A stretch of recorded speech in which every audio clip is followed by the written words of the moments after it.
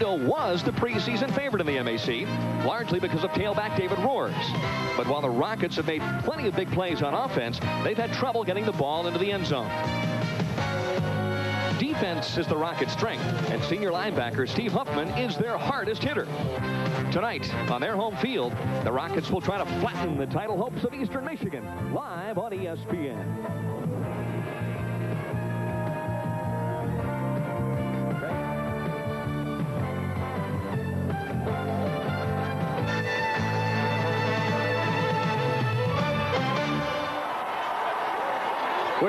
Live from the Glass Bowl. It's Eastern Michigan and the Toledo Rockets in an MAC conference game. And guess what? They're expecting a capacity crowd better than 19,000 here at the Glass Bowl.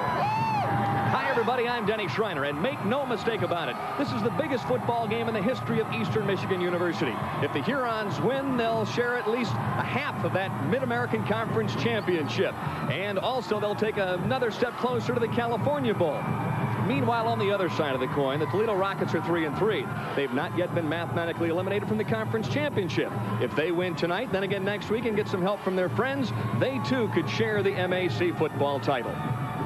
Working with me this evening is former Ohio State All-America linebacker Stan White. And in essence, Stan, Eastern Michigan in five years has gone from the worst team in the MAC to perhaps the best. Well, Dane, let's put this in perspective. Eastern Michigan was the Columbia of the early 1980s, losing 27 in a row, the longest in the nation. They also were asked in 1984 to leave this conference and not play football anymore in the MAC. But three short years later, they're vying for the championship, a California Bowl berth. These guys have slowly but surely started believing in Jim Harkema and his program. And tonight's the final hurdle, the final test to see if they really believe not only they can win, but they can be champions. Stan, it would appear that the key to success thus far this year for Eastern Michigan has been the play of their fifth-year seniors, especially the skill guys. And that's the difference between these two teams, between Toledo and Eastern Michigan, and that's the skill positions. They don't have a Ron Adams at quarterback or a Bob Foster or a Gary Patton at tailback. Ron Adams, a great quarterback, not throwing the ball as well this year, only about 50% completion, but he's made up for it being able to scramble and run over 400 yards of offense on the ground, including two big touchdowns that he scrambled for last week. Of course, Gary Patton, unanimous All-MAC last year, needs 18 yards to become the leading rusher in uh, Eastern Michigan history. Uh, they'll get him the ball a lot. He likes to go around the outside and also that delayed draw play. And Bob Foster, also, you don't lose much when you go to him. He's even tougher inside than Patton is. Toledo won its last five games last year, and in essence, they were the pick this year coming into the Mid-American Conference. But the injury bug has bitten that team. They've had four different quarterbacks. That's posed all sorts of problems. Yeah, that is the problem. You may not believe this out there, but the guy who's starting at quarterback tonight, Bill Bergen, started this season as a student coach. He had, in essence, retired, but they had to bring him out of retirement, and he's played pretty well for him. He's one of the top-ranked quarterbacks in the MAC, and he has to have a great game tonight. The other problem is when they get down inside the plus 20-yard line trying to score, they just cannot put the ball in the end zone. Anytime you have a field goal kicker who has more field goals than he does extra points, you know you're having problems with offensive production. Well, the last 10 MAC teams that have invaded the Glass Bowl have gone home losers. So, in essence, Eastern Michigan is bucking the odds here this evening, trying to clinch at least a share of their first ever MAC championship game. Stay tuned. The opening kickoff is coming up next. ESPN's presentation of college football is being brought to you by the U.S. Armed Forces. It's a great place to start. By Yashica. They put a new focus on photography with the new 230 AF autofocus. And by Michelob Light. When the sun goes down, light up the night with Michelob Light. We're not a company. And Simrell in his sixth year at the helm of the University of Toledo Rockets. And uh, he is born and bred in Toledo, Ohio. Yeah, when Elton John wrote The Rocket Man, he had to be thinking of Dan Simrell. He played here, grew up here, assistant coach here, and then head coach. Uh, this is a job he's wanted all his life.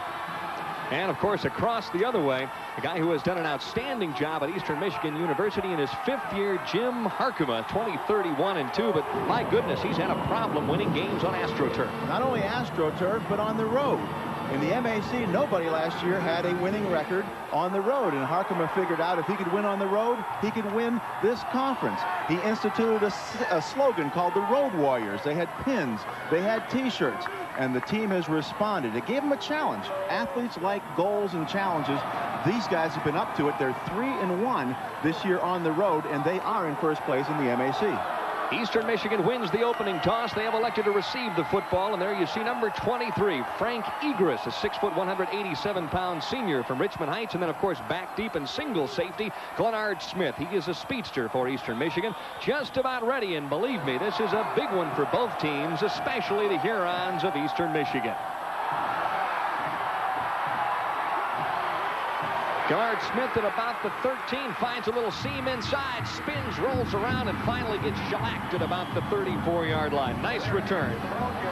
Let's take a look at that Eastern Michigan offense, headed up by the most experienced quarterback in the MAC, number 10, Ron Adams. In the backfield, a couple of good ones, especially Gary Patton. He may be the best in the MAC. The receivers, a fine trio, perhaps the most speed, number 82, Craig Ostrander. And the tackles, Evans Hicks, 325 pounds. He's the best best pass blocker on that squad. And then the interior people led by number 55, Jim Colissimo. So it's first down and 10 for Eastern Michigan from their own 35. Excellent field position.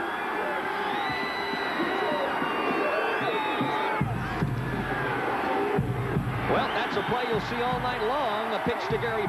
This time he slips for no gain. The Toledo defense Danny. Danny is a normal 34 defense. The outside linebackers are defensive ends. Mike McCreary, the leading tackler on the front line, also the fastest guy up front. On the interior, Paul Sandor is a 4'8", 40 man and also the strongest man. The inside linebacker, Steve Huffman, leading tackler, all MAC. Dwayne Fletcher, the best athlete back there, and Keith Saunders can bench press 415 pounds. Second down and 14, so a loss of four on the first play by Patton Benzinger in motion. Adams going to look to throw. They clear out. Benzinger pulls it in, but is it a complete pass? Yes, it is. Back to about the original line of scrimmage. Yeah, I'll tell you what, that looked like he trapped the ball from here, but nobody called it. Uh, Adams just didn't get him the ball. He was wide open in the flat. There was nobody out there. If he'd have got it to him, he'd have had some running room. So we can see it from this angle, a little reversed angle from the back. Let's see if he got his hands under it. Uh, maybe he did. Maybe it was his hands that it bounced up off of, not the turf. Good catch. Good That's call. That's why those wide receivers wear those white gloves, right? To show the officials that they did get their hands underneath the ball. Third down and about 11. Opening series for the Hurons. Adams under pressure, throws over the middle, and boy, was he belted in the backfield. And that's something Toledo rarely does, and that's blitz. And they came through with everybody and hit Adams. He had to throw it before the tight end even turned around, and he just threw it away to avoid the loss. Tom Grunow in there with some pressure as well. And really, as we spoke to the defensive coordinator, Ron Curtis, earlier this week, he said that Eastern Michigan well, they wouldn't be prepared for the blitz, but Toledo doesn't blitz very often. Not very often at all, but that's when it's most effective, when they don't, when they aren't ready for it, when they don't expect it. Back deep is number one for Toledo. He is a speedster. Renza Hughley and Ron Bonitis will kick. End over end. Hughley lets it hit at about the 34. It's in traffic, and so Toledo will start with excellent field position at about the 37. Here's a look at that offense for Toledo, led by fifth-year senior Bill Bergen has an extremely strong arm. And pressed into action is tailback Alan Smiley, filling in for the injured David Roars. The receivers, three very good ones, perhaps the best Tyler Burdick. Uh, great hands and a great blocker. The tackles, and they're big and huge. Ken Moyer, 287 pounds on the right side. Perhaps the best guard tandem in the league, the Olsen boys. No relation to Merlin, of course. First down and 10. Toledo in a hurry. Play action pass. And quickly in the right flat. Toledo Rockets come up with a first down, and it's John Perry, the fullback, who is not only a great blocker, but also an excellent receiver. Their leading receiver. The defense for Eastern Michigan, a little different four-man front. Defensive ends, Eric Miller, leading sacker last year, right up there this year. The tackles, Jim Hafner, only 5'9", 228, but makes big plays. At linebacker, Keith Bertram, the leading tackler. Charles Gordon, the best defensive corner. And at safety, Tom Menard, their leader in the secondary. Hutchinson and Hughley the wide receivers. This time, straight handoff. Smiley's got some running room. He's into the secondary. One man to beat. Menard runs him down, shakes him out of bounds inside the 10, and that's the kind of play Dan Simrell was looking for early on here this evening. And who expects it from Alan Smiley? He's in for David Roars, the third leading rusher in the conference, but he makes a great cutback. Now watch this. This is I formation at its best. He just looks to see a hole. There's a man cut off at the top of your screen. He comes through, get, uses the official to help shield the defender, and then makes great cuts. You see the downfield blocking helped him get extra yards. Smiley, a great run, and Toledo is in a position to strike first in this big game. Now let's talk about that, Stan. They've had all sorts of problems, the Toledo Rockets, that is, at punching the ball in the end zone once they get inside the 20-yard line. Exactly right. Eastern Michigan feels they have a way to do it. They go to a wishbone inside the 20-yard line. They say nobody stopped it yet. Toledo's been stopped all year long. As we said, more field goals than they do touchdowns, and that just shows that they aren't punching the ball in. This will be tough for them. It looks like we may have some kind of call by the official here. They're going to back the ball up. Mike Kimberly. Mike Kimberly. Well, they're going to spot the ball at the 24-yard line. Mike Kimberly to the press box, please. Did we get uh, a reason why? Was there something happening at down by the sideline at the end? Looks like we might might have some kind of an unsportsmanlike conduct call, but the officials will gather together and determine exactly what the call is. You know, that happens when you get to a big game and exciting. Your guy goes downfield, he's breaking it. You want to be a part of helping him go all the way, and you make a late block, an uncalled for block, and that's must what happened there because we watched it all the way and didn't see anything. It had to be a real late hit. I guess that's just an indication of what's happened basically to Toledo all season long. Here they bust a big play and get to inside the 10-yard line. Now they have to start first down and 10 from about the 25. Outside called, and it's, uh, I believe, Kenny Moyer, number 64. So again, another mistake in the early go. That's right. Now they got to start from the 29. Let alone that, you got to realize it's a goal to goal from the 29, Denny. It's not first down and 10 or 15. He just jumped off sides. Dead somebody. ball, ball start, offense. Now, I don't know why he was going because there was a man in motion, which meant it was not on the first sound. So he shouldn't have been pulled off on that. That's just a mental error. But uh, that penalty being after the play was dead, after the first down was made, made it first and goal at the 24. Now it's first and goal from the 29. That's pretty tough to score from there. Mm-hmm. Got to pull something out of their hats. Evans, the tight end, down inside the 25 to about the 21-yard line. And Jerry Evans has 4-7 speed. He's probably the quickest of the tight ends here among the Rockets. And he's a good receiver. 10 catches already for 133 yards. Just a little play action. I think we're going to see a lot of this tonight because looking at film, you can see the tight end was open in the flat time and time again if the uh, opposing uh, offense could get it to him against Eastern Michigan. I think uh, Toledo saw that and will try it more tonight. Second down, goal to go now from the 21-yard line. Draw play this time, and Smiley basically gets back to about the line of scrimmage before he's finally wrapped up there by Keith Bertram. Just a good play. That time by the linebacker, he stayed home. You know, your your first reaction is when they show passes to drop, but you have to ha let the quarterback clear that tailback before you start to drop. If you drop too early, it gives him too many too much room to cut. And you saw what Smiley did earlier when he had that room. Third down and 22. Got to get to pay dirt. Bergen straight drop. Looks, throws it out. Evans again, and it's either a face mask or uh, interference. Evans came up with the football inside the 20. Well, I'm sure Toledo hopes it's interference because that would be an automatic first down. If it's incidental face mask, then it would just be five yards, but they would get another play. Evans obviously interested in what the officials are chatting about.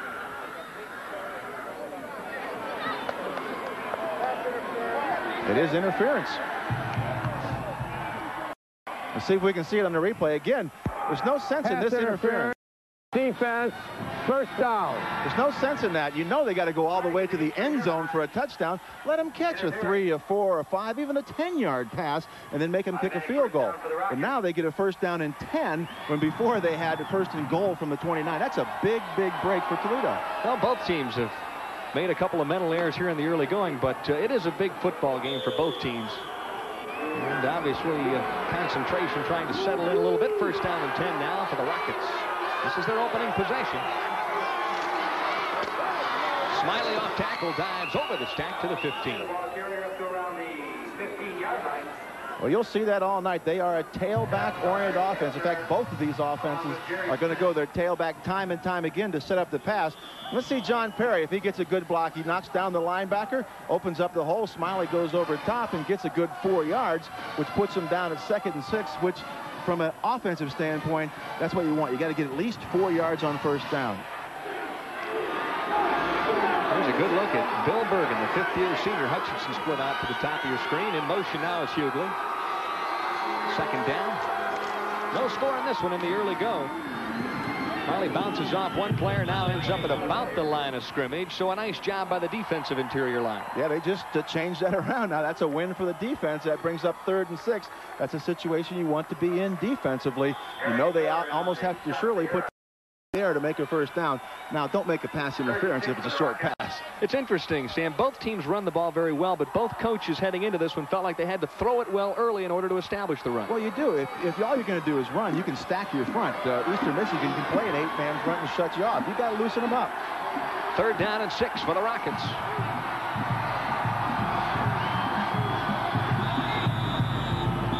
And looks like maybe delay a game. Uh, The 25-second clock ran out. That even makes it tougher. I tell you what, the percentages go up dramatically. Dramatically when it goes from third and six to third and 11. Dead You see head coach Delay. Offense. Dan Simrell. Obviously, will be sending in the play with Jerry Evans. Third down's been a problem for Toledo all year. They're only barely over 30% in their third down efficiency. That's not good enough to win. Uh, conversely, they give up about 40% on third downs. Now let's make it third down now and 11. Ball on the 20-yard line. No score in the early go from the Glass Bowl.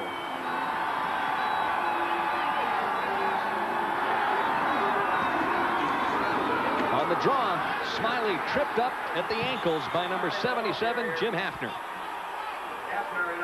It's a little bit conservative, I would think. Uh, you might as well put the ball in the air. We asked uh, Dan Simrell if he'd had that thought that, hey, you know, you're still not mathematically eliminated, but uh, your chances aren't real good. Do you feel like you can just go for it, let everything loose? But he said no, he was going to play it the way he always does. He just wanted a chance to win in the fourth quarter. 37-yard attempt for Bruce Nichols.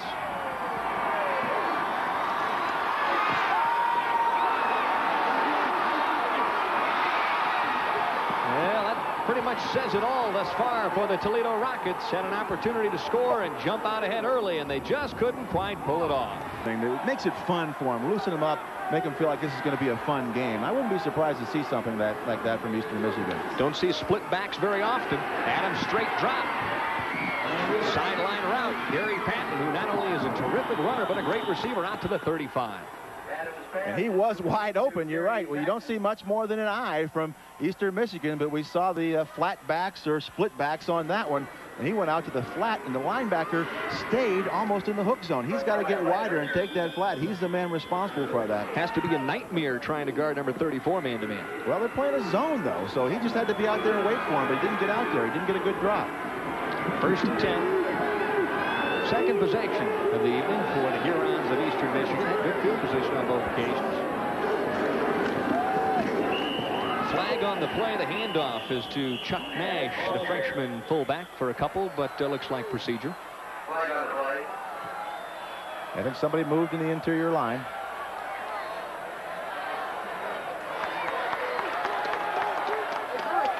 That rule is once you put that hand down, you can't move it. Dead ball.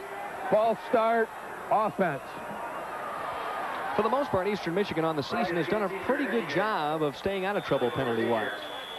Five-yard penalty, first and 15. Makes it now first down and 15. Hurons have been explosive in the opening quarter throughout the season. They've scored 73 points in the first 15 minutes. Adams with another straight drop. Oh, had a wide open receiver right at midfield. And Mark Ziegler comes up with an excellent catch. That's another thing Jack Jim Harkema said he wanted to do was to be able to get his get the ball to those good wide receivers. He doesn't feel he's got it to him enough. And one of the keys when you run all these crossing patterns is to get good pass protection. We see Ron Adams with time to throw. And then we see the cross. See the tight end there sucking up the linebackers. And right behind him comes the wide receiver, Mark Ziegler, and makes the catch. First down and 10 and just across midfield for the first time this evening.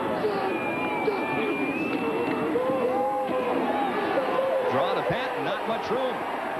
Squirms and jukes and picks up five yards. And boy, did he have to work for that. That's what you call doing it on your own. And you said it right. Not much room, but he made it. He looked, he looked to bounce outside. That's what he loves to do. And you can see Toledo's been well schooled by their outside linebackers or defensive ends to make him bounce back into the middle where your friends are, where the rest of the defense is.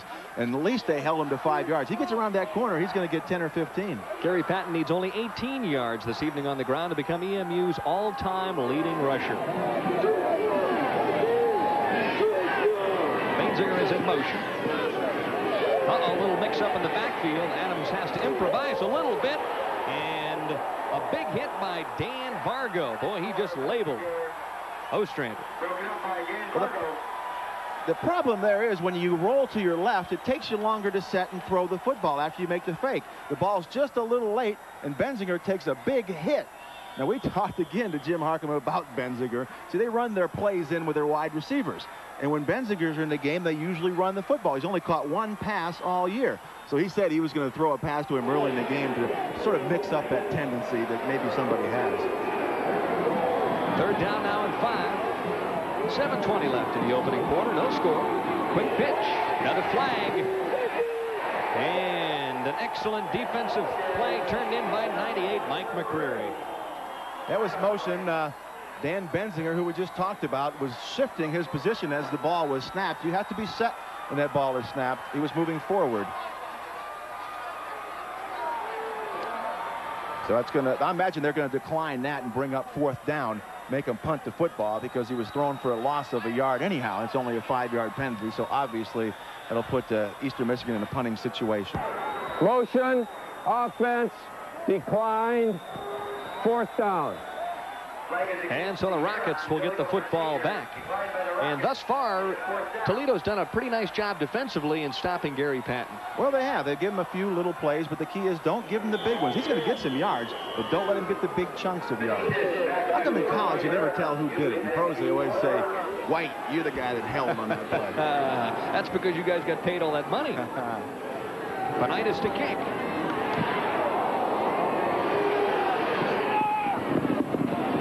This one's going to hit and take a bit of an Eastern Michigan bounce, and they're going to head down it at about the 16-yard line. No score thus far. 6.54 left in the opening quarter. Coming up this Saturday on ESPN, it's a college football doubleheader. Clemson versus North Carolina. That one starts at 4 o'clock. And then, of course, later on that evening, should be a dandy. Alabama versus LSU. And don't forget, it all begins with game day. Starts at 11.30 Eastern Time. Hey, that Clemson North Carolina game, that's for the ACC championship in essence. And uh, I saw North Carolina play last week, and they're a pretty good football team. They'll give Clemson all they can handle. Better than 19,000 expected this evening at the Glass Bowl. Rockets with a football. Still no score. Bergen over the middle. He has a receiver. He's hit and he comes up with a catch. And it's number 86, Eric Hutchinson. Again, this is the same exact pattern that Eastern Michigan completed. Watch it go over the middle and draw up the linebackers and allow Eric Hutchinson just to come to the middle of that zone and catch the football. We don't see the tight end there, but he's in front of the free safety. The tight end took the linebackers completely out of the play. One of them's got to get a little deeper and, and, and shut off that throwing lane. Career reception number 92 for Eric Hutchinson. First down and 10. Bergen again, the quick out to Hughley. Hughley wrapped up at about the 47-yard line. Just a little short hitch pattern, and Dan Bennett, uh, a freshman defensive back, fell down on the play, slipped on the turf, and gave uh, Hughley a chance. If he watch him fall down right here. You'll see him right, uh, he goes out, he falls down, but that's why he isn't there. If he'd have realized that and got upfield, he turned around waiting to get hit on the play. If he just turned and ran, he might have been able to break that one tackle and go for some yardage. The offensive coordinator at Toledo is really high on number one, Renza Hughley. Say he's really starting to come into his own, and he's a big play type player. He is, and they expect more big plays out of him, both as a punt returner, a kickoff returner, and in the regular uh, phase of the offense as a receiver. And the boys up front, Tim Olson, Todd Olson. My goodness. Twin Both, brothers. Yeah, 6'5 and about 260. Boy, can they play. That's uh, one of the strengths of this Rocket offensive unit. It's offensive line. They've really come into their own. First down and 10.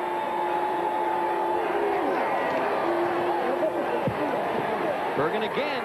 Same route, and guess what? Hutchinson's wide open once again. Finally wrapped up by Charles Gordon at the 30-yard line. when you play works, make them stop you. They just came back. Eric Hutchinson, just a little in pattern. Really no moves on it all. He just comes in and cuts over the middle. You see the linebacker got better depth this time, but a good throw. You see how he just lofted the ball over the linebacker.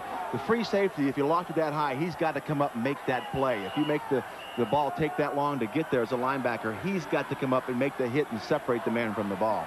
Hutchinson averaging just a fraction better than 16 yards a catch so far this season has obviously improved on those numbers thus far tonight.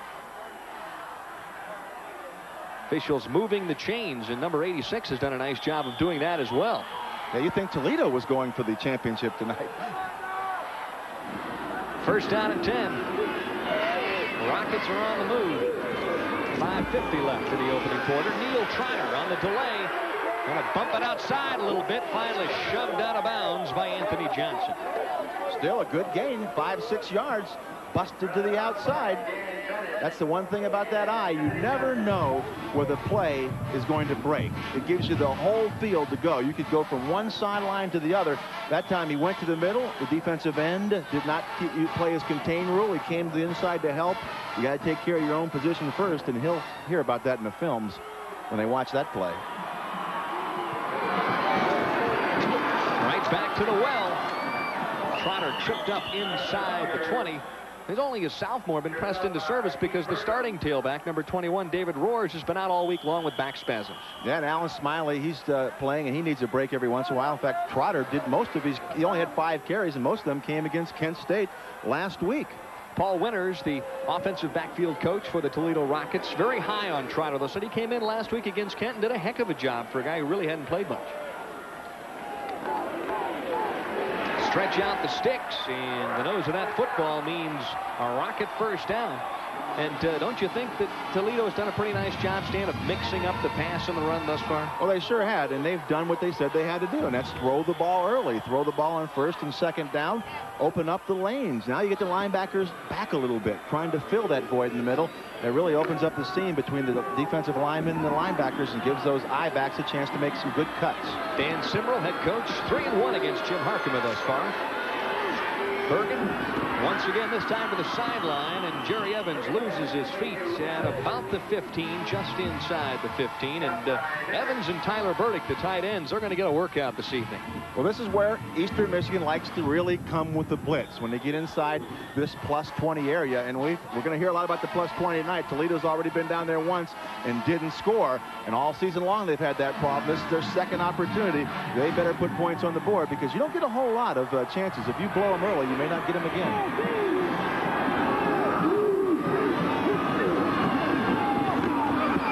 Counter this time, and Trotter will run the other way and uh, near the 10-yard line where he's finally upended there by Charles Gordon. Tell you, Scott Weicker, the linebacker, made a nice play. He was stuck there by himself with a lineman leading Trotter through the hole, and he just submarined the blocker We'll see it right here. See the little counter play? It really hurts linebackers. They take it one step the wrong way. And watch, he submarined the blocker and took Trotter's legs out from under him. That's a, that's a you gamble when you're in that position because you know if you just play it under normal circumstances, the guy's going to make the blocking cut. So you take a chance and you dive, and you, he made the play. Boy, hemmed in at about the nine-yard line, and Dan Simrell will be faced with an interesting situation here, Stan, because he's going to have fourth down, it looks like, in very short yardage. Uh, nice play defensively by Tom Menard. Well, you learn the second time, I guess. The first time, shame on you. The second time, shame on me. He busted the outside. They held their contain. That's going to bring up a fourth down in about one. And again, inside the 20-yard line, fourth down. Evans brings in the play, two tight ends. Trotter in the backfield.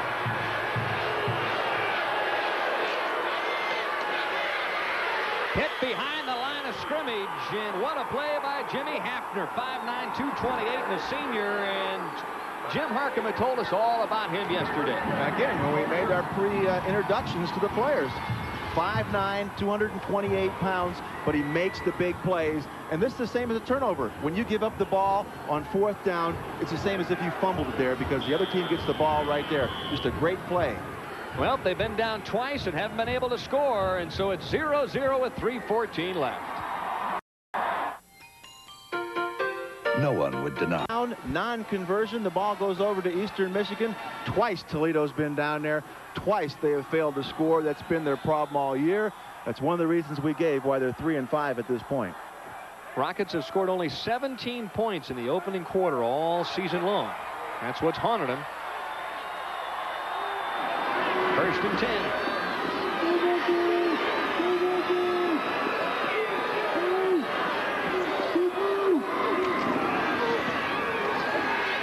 Going to stretch that defense a little bit. Ostrander is wide open, knocked out of bounds by Boucher at about the 46.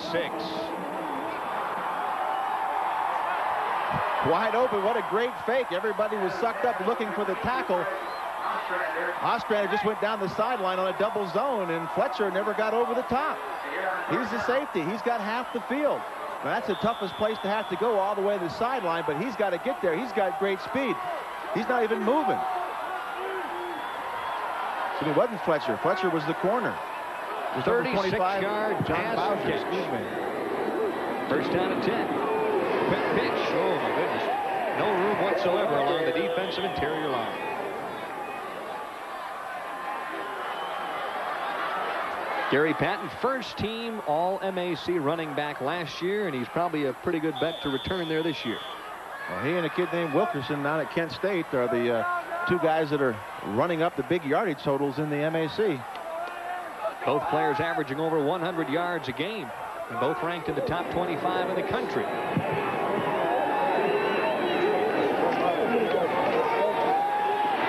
Adams steps up, delivers this one a little bit high.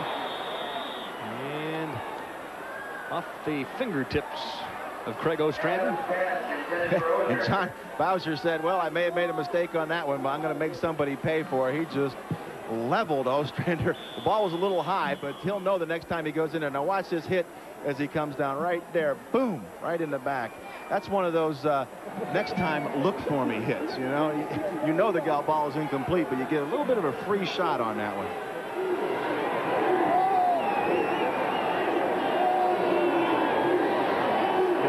Down play to try and hang on to the football. Adams flushed out a little bit. And he's finally tripped up from behind, or did he slip down? Little slip. You know, when the field gets a little cold on AstroTurf, it tends to have a little film on it. It's tough. It starts getting slippery, and you don't realize it because there's no moisture, no rain. You don't. There's really two different type of cleats you want to wear in AstroTurf. One when it's real dry because it grips too much, and then one when it gets a little cold or a little wet that grips a little better. And I'm sure these guys aren't carrying two pair of shoes like I always did. Jim, I, I couldn't afford to slip at all. I was in trouble. Jim Harkema with a discussion with his senior quarterback, Ron Adams. Obviously, Coach Harkema saw something downfield, but Adams didn't.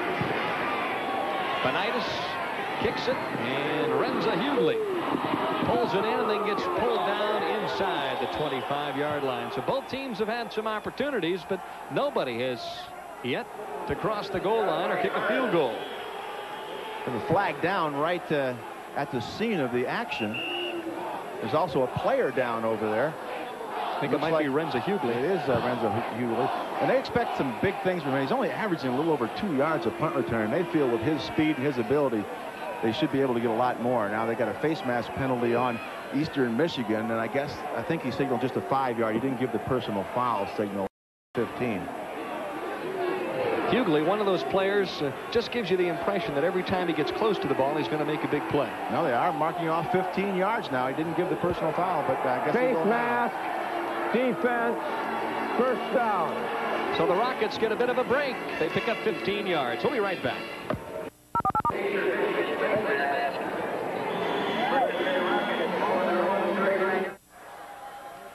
And the first regular season NFL game on ESPN. Coming up Sunday night, 8 p.m., the New England Patriots and the New York Giants. And uh, who do you like in that one, That's a tough one. Both uh, teams lost their starting quarterbacks, and you know the Giants have had trouble, and that befalls just about every team that tries to repeat as champions. Uh, but they're down to their last chance now. The Giants should come out smoking for this one. While we're on the subject of champions, should Eastern Michigan win here this evening, they'll share at least a piece of the MAC crown for the first time ever. But I think they're going to have a long night of it.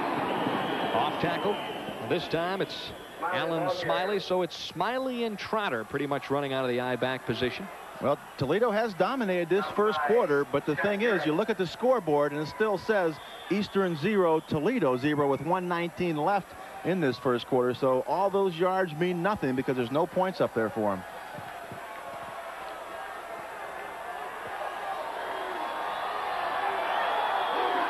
Bergen's on the move, rolls out. As a receiver, Hutchinson catches it, but he was about two steps wide of the sideline.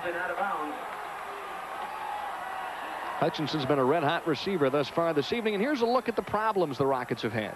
Again, uh, Steve Haddad was a junior college transfer that came out of the spring as a second string quarterback. He had shoulder, shoulder problems, had surgery. He's out. Steve Keen started the season. He got hurt against Temple. Mark Melfi, he's been playing. He came in last week when Bergen got hurt. But uh, Bergen's been doing the best job of anybody so far this year, and he got ready tonight. They was a little bit uh, skeptical whether he would play or not. Well, it's been a rotating door. This time, Evans slips down. Ball was thrown just a fraction behind him. Menard on the coverage, but uh, had Evans come up with that play, that would have been an All-America catch. And it still would have been short of the first down because the ball was thrown behind him.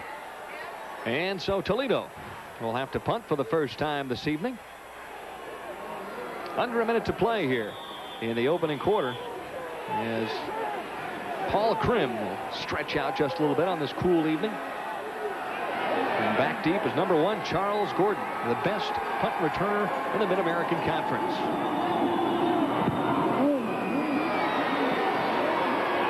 Gordon grabs it at the 28, drops it, and then sits down on the 26-yard line.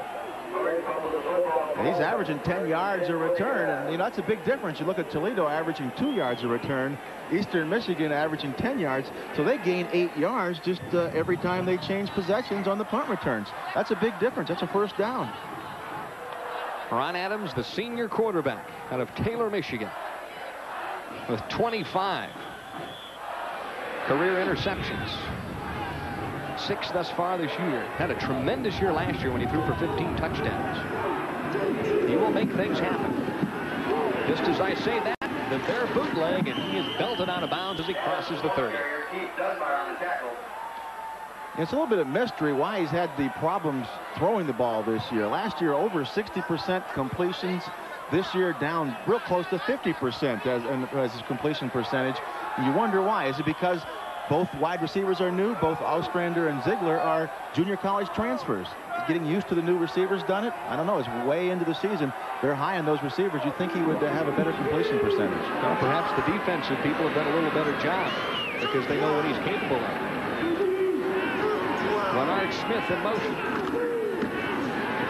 And this time it's the option play. Foster takes off and is whacked out of bounds by Jim Marquardt. That was the old counter option. They go towards the strong side, the wide side of the field, take a counter step and go to the short side. Everybody likes to attack the short side against Toledo because they put their strong safety to the wide side of the field, which leaves them a man short, especially on the option to the short side. They have to sort of use that sideline as the uh, as the uh, 12th man, as their support man, and get the pursuit to knock him out of bounds, but not enough. You got a first down.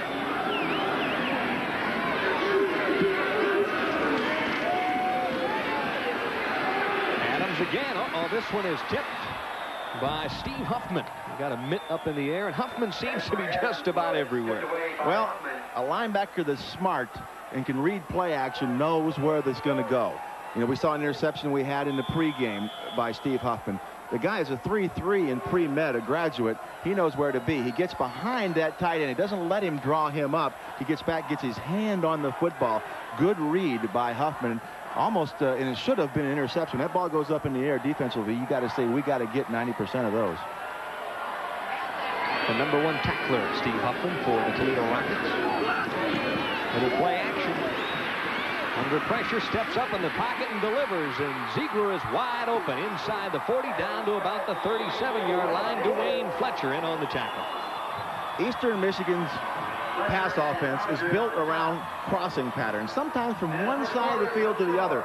You need great protection to throw those patterns. He didn't get that time. He created his own protection because he bought time for the receiver to come all the way across the field, Mark Ziegler. You can see it right here. Now, it's not great protection. They're coming after him.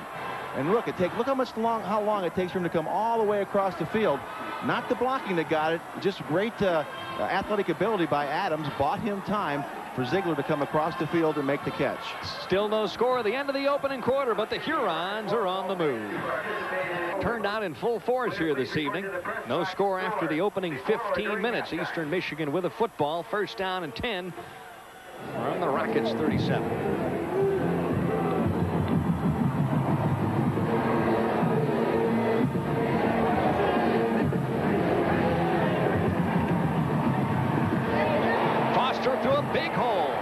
The secondary. Finally tripped up from behind by John Boucher. And Stan, was that an audible that time by Ron Adams? It very well could be. He saw the blitz coming. And then Huffman showed the blitz, and he he made a good play in taking on the fullback. But he was so deep in the backfield, when he took on the fullback, he couldn't get off of him in time to make the tackle. Now watch Huffman come through here clean. Now he hits there. He crushes the fullback, but he can't get off in time to get to the outside. It opens a big hole, and it just and uh, Foster went right through it for good yardage. Hurons continue to move. They'd love to score first. Jimmy Johnson in the game now at fullback and tripped up after a couple yard gain. Paul Sandor at the bottom of the stack. Well, it's now it's Eastern Michigan's turn. They're getting close to that magical 20-yard line.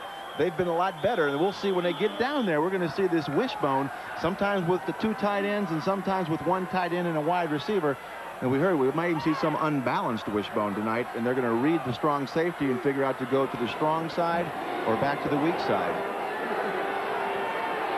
This time it's Ziegler split out wide to the right. Ostrander flanked out to the left.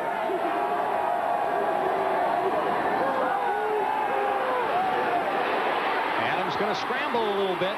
Runs past McCrary. Finally dives out of bounds inside the 10-yard line. Thank you. The quarterbacks are the hardest people in the world to tackle in the open field. You see him running it there, flipping like he was going to flip the ball. You never know what those guys are going to do. A running back, you know what type of move he's going to make. He's either going to try to run over you or run around you. This guy may stop and twirl in the open field. It's just tough. Did you see uh, Mike McCreary that time try to get him in the open field? It was just like no match. Adam just went around him like he wasn't there. Well, they're going to spot the ball just outside the 10. We've got a full house backfield. The wishbone, two tight ends. Michigan trying to punch it in here. Patton to the outside. That's what they like. Shut off there, puts his head down, and boy, somebody really clamped down on him at about the 10. Well, they also saw that there was two fullbacks in the game in Patton. You know, there was Jimmy Johnson and Chuck Nash in Patton. Now, who do you think is going to get the football? You know, Patton's going to get it, and if he's lined up on the left, he can only go to his right with the football, and that's exactly what happened. If you're smart defensively, you can pick up things like that. That's why they need to have both their tailbacks, Fisher, I mean Foster and Patton at those two halfback positions. So you, you don't know defensively which side they're going to go. Both defenses have done a pretty gutsy job of keeping the other offenses out of the end zone. Oh, they cross things up this time. Foster's got some running room, and he's going to get to the goal line for the touchdown. And I think, cross things up, I think Jimmy Johnson went the wrong way. Not one of them crossed him up. He went one way, and they went sweep the opposite side. They confused the defense so badly that he just walked in the end zone. Again, two fullbacks and Foster. You feel you, you got to figure Foster's going to get the ball. Try the extra point. Adams will hold, so it's Eastern Michigan who scores first here.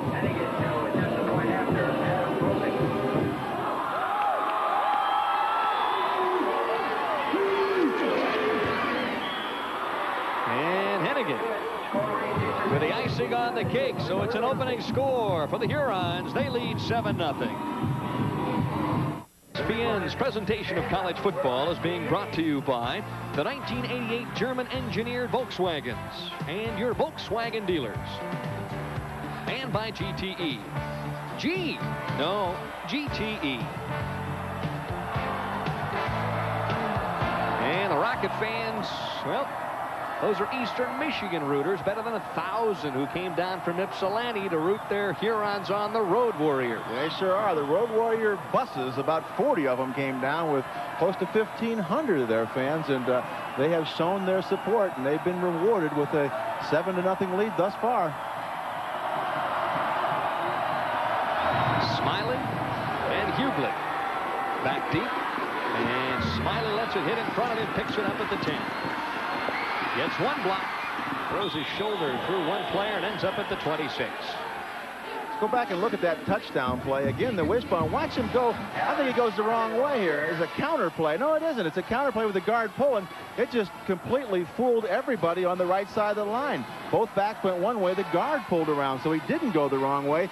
Just a counter play, something they had not shown out of that wishbone. It was either toss right, toss left, hand right or hand left. So it really confused not only me, but the Toledo defense. 73 yards. And that's the first score of the evening.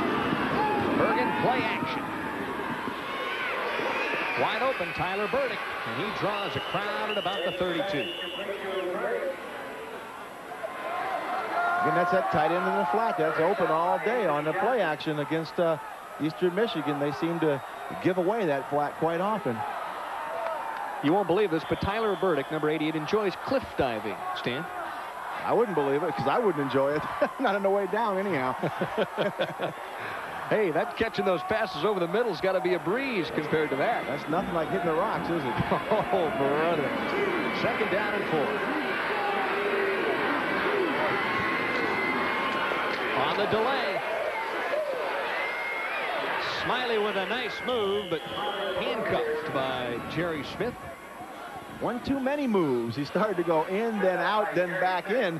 And by that time, uh, Jerry Smith had the time to get up off his block because he was actually on the ground and then get up and sort of shoot the legs out from under the as running a, back Smiley. As a defensive player, Stan, what's the key to stopping that sweep? Well, you got to first contain it. You got around the contain it, made the uh, defensive back come up and make the tackle. But again, that's the short side where you're weaker man.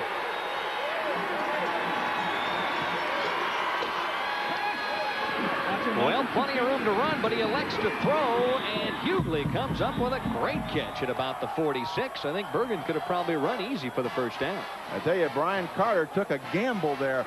He went to cut in front and try to make the interception. Luckily, he just got one hand on Renza Hughley to keep him because he goes down the sideline with that speed, he's gone.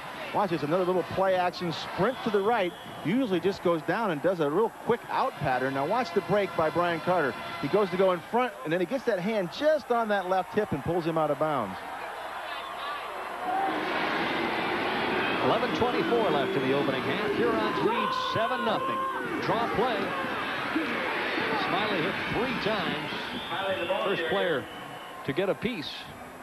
Number 72, Mike Bass. Scott Jurek. On the stop for the Hurons.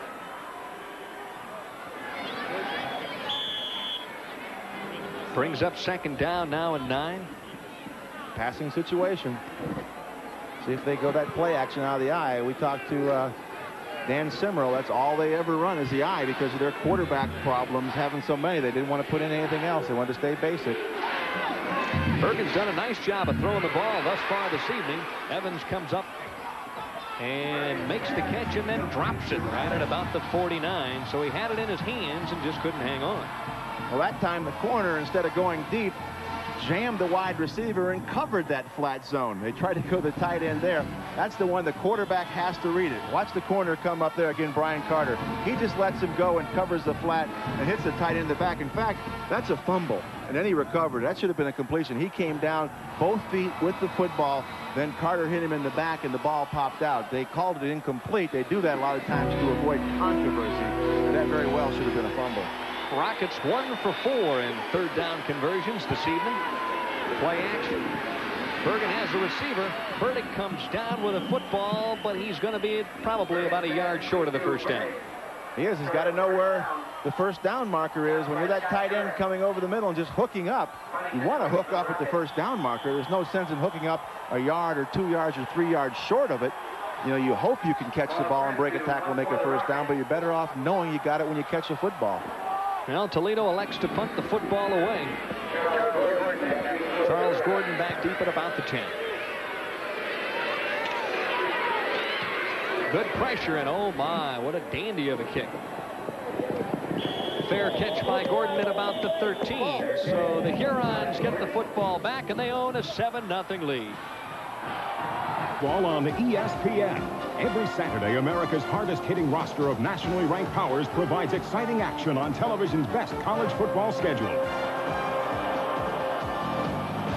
The mighty Clemson Tigers take on North Carolina. Then Alabama battles LSU in a live CFA doubleheader Saturday starting at 4 Eastern on ESPN.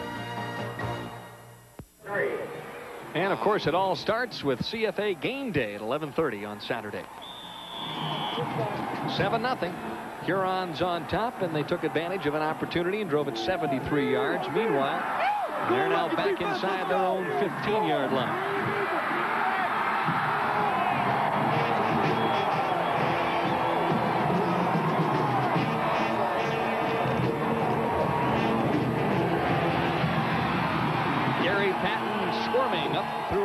21-yard line, and he is just sneaky quick. He sure is, and I think that carry will probably put him uh, over the top as far as being the leading rusher in history of Eastern Michigan. He need 18 yards, and I think that puts him well over 20 at this point.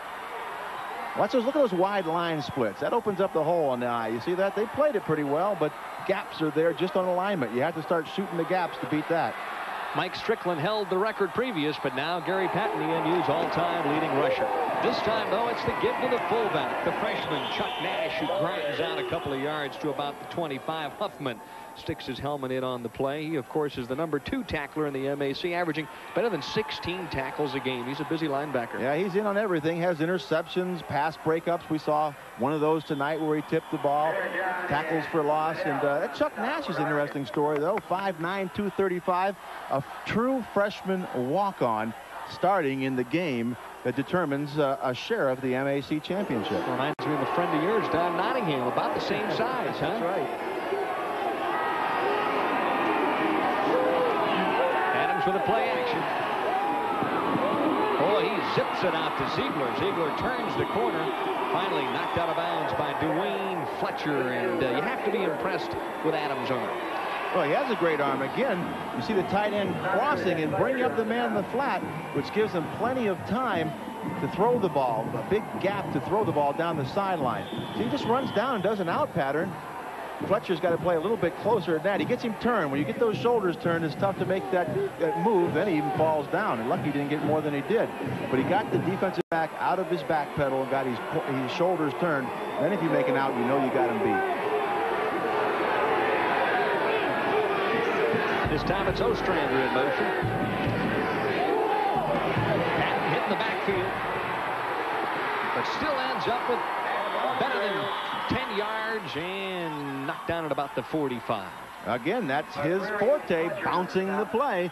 You never know where that where it's going to go, but he loves to bounce outside. There you see Eastern Michigan's all-time leading rusher. He just is going to break that every time he carries the football.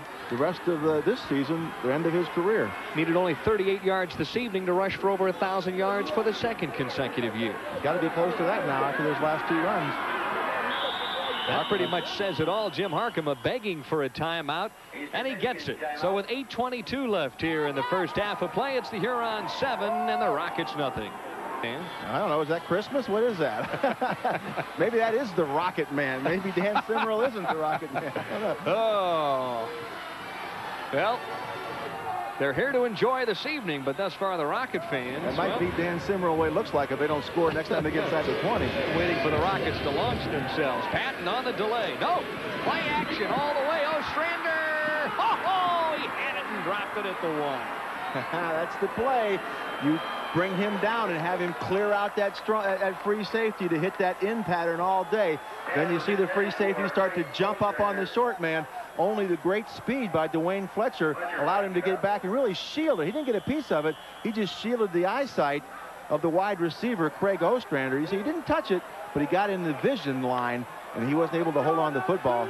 His wide receiver coach is going to tell him he should have caught that ball, and he's going to be right.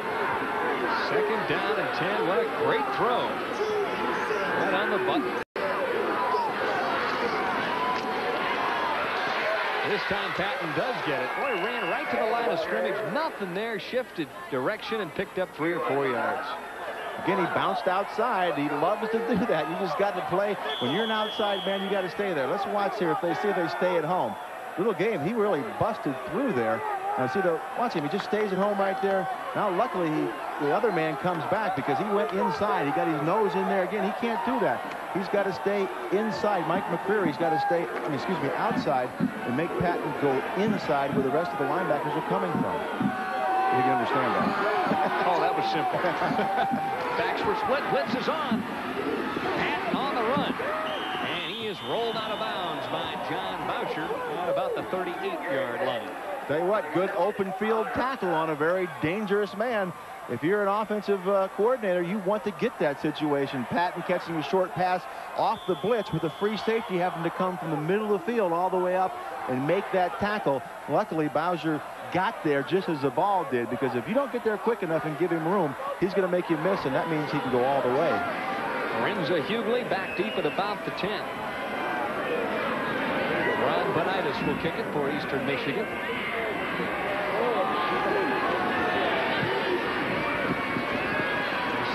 spiral and he pulls it in at about the 16.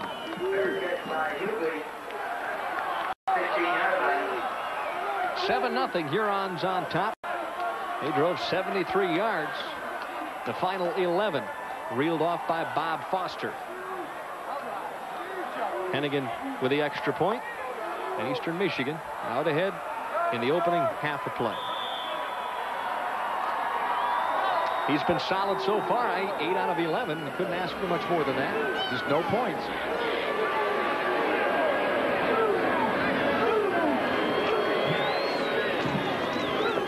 Quick drop. Look over the middle. Two pump fakes. Uh-oh, that one's in a crowd. Yeah, you can't do that. You cannot throw late deep over the middle. you saw how many white shirts were around that football. They went to the double zone, which means uh, both corners rotate up and the two safeties have half the field. The play that defeats that is the tight end down the middle because they're split. And if you can get the ball just over the linebackers before the safety can make the play, it defeats that, that zone defense. But he was held up at the line of scrimmage, and that's why he was pumping. He kept waiting for him to get deep. He never got there. Linebackers did a good job. Second and 10, quick pitch. Trotter tries the left side, and not much happening over there. Scott Weicha with a really solid hit. 37 tackles on the year. Make it 38 now for number 98. Good pursuit by the inside linebacker. So we got to play it inside out on that I formation toss because they're looking to cut it back. Don't ever kid yourself every time. They're looking to cut that back and find a hole. Third and nine, and it's time to be careful back here.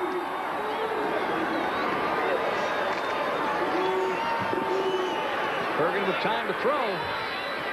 Oh, my. He threaded the needle, and Hutchinson hauled it in at about the 34. And are they going to give it to him? Let's see. Yep. They're going to give it to him, and that, that was a dangerous throw, but a great throw. I guess there's a fine line between the two. I guess it's a great throw when it's completed. But watch, there's four white jerseys around, and here's everybody on top of them. Look at them all here. One, two. Just missed knocking it down. There's three, four coming from the other direction threw right into a crowd, but uh, the old needle in the haystack was at the right spot that time. 5.57 left here in the first half. And uh, those are some impressive numbers, averaging better than 20 yards a catch for the senior out of Dayton, Ohio. All three the same pattern, just a little in pattern. Not much of a move, but you don't make a lot of moves against zone. You want to get the spot. Boy, any kind of points whatsoever would be a blessing in disguise for the Toledo Rockets before the halftime gun. Trotter hits the hole, jammed up in about the 36. Keith Bertram in on the tackle. He is EMU's top tackler on the season with 63 heading into this game tonight. Here's our little defensive lineman again, 5'9", 228. Just stands up a bigger man, sheds the uh, blocker, and comes in to make a tackle. That's picture perfect defensive line play. You, that's the advantage of being small. Those you can get under those offensive linemen, stand them up, and then shed them, get rid of them, just like you did.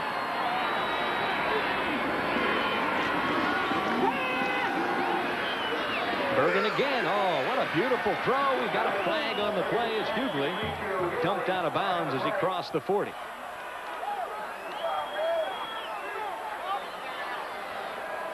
Well, they must have called that he hit him while the ball was in the air. The only thing I can figure out. Yeah, it looked like he might have touched him a tad soon because the flag was thrown right. No, no, oh, no, no. They're calling offensive interference. I think that's one of those. Uh, I think it's time to make that call. Well, we'll see if he pushed off on the break, huh? Yeah, I guess that's what we're going to call. I didn't see it looking straight at it. We're right in front of the play. But, uh, of course, we're watching the ball in Pass interference, offense, loss of down. That's a big penalty. Well, obviously, Hughley pushed off on the out pattern. But you're right, it sure didn't look like it from up here. Yeah, it didn't at all. Aren't you glad you're not an official, though, Stan? I've always been glad I wasn't an official because I was always yelling at them. there you go.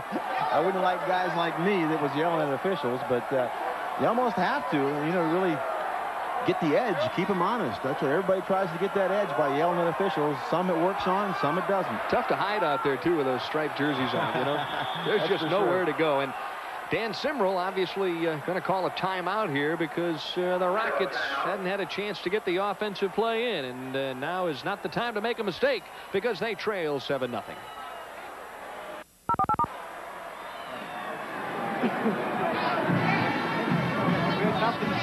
College football preview, on-site reports from major showdowns, exclusive interviews with top coaches, unbeatable predictions, live Saturdays on ESPN.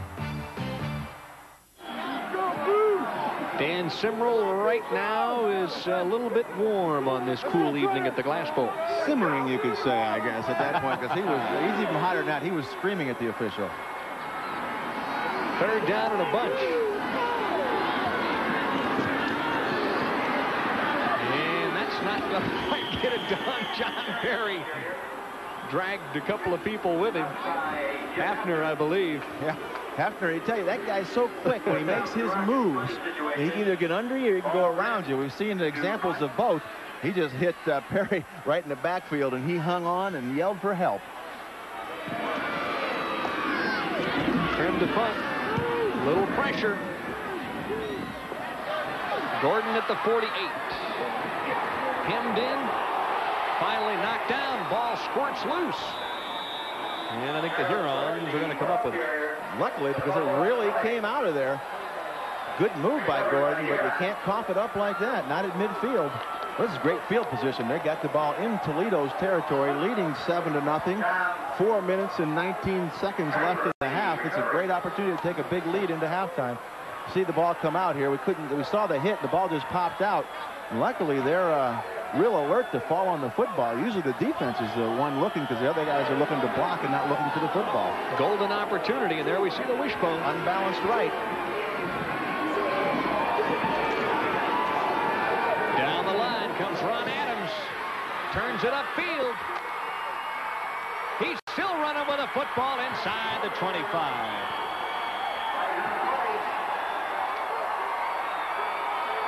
Flag thrown on the play right at the end, and uh, there might have been a little face mask. We'll see what it is, but we were looking for that, that unbalanced wishbone. What they were trying to do, and we do have a personal foul. That's going to take it to half to the halfway to the goal line from the 24. It'll be down at the 12-yard line. I tell you what, uh, we were waiting for this wishbone unbalanced. Dead ball, personal foul, defense. Personal foul against Toledo. And you can see that the, what this does, it gives you an extra man over there. You got to go out and play the wide receiver. It takes away the man who's going to take the quarterback or the pitch. They chose to guard the pitch man. That left Adams a free lane to run, and he's almost as dangerous as if you give it to Patton. Well, last week he scrambled for a pair of touchdowns from 45 and 38 yards out, so he can turn it upfield and take it to the end zone. Unbalanced left this time. Once again, it's Adams. Nobody stepping up, and Adams is going to dash into the end zone.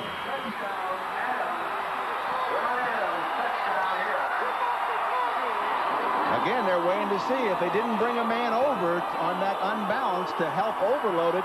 They were going to continue to run to the to the strong side of the unbalanced. Again, he just walks in. This is what's called walking the dog here. He just makes a fake.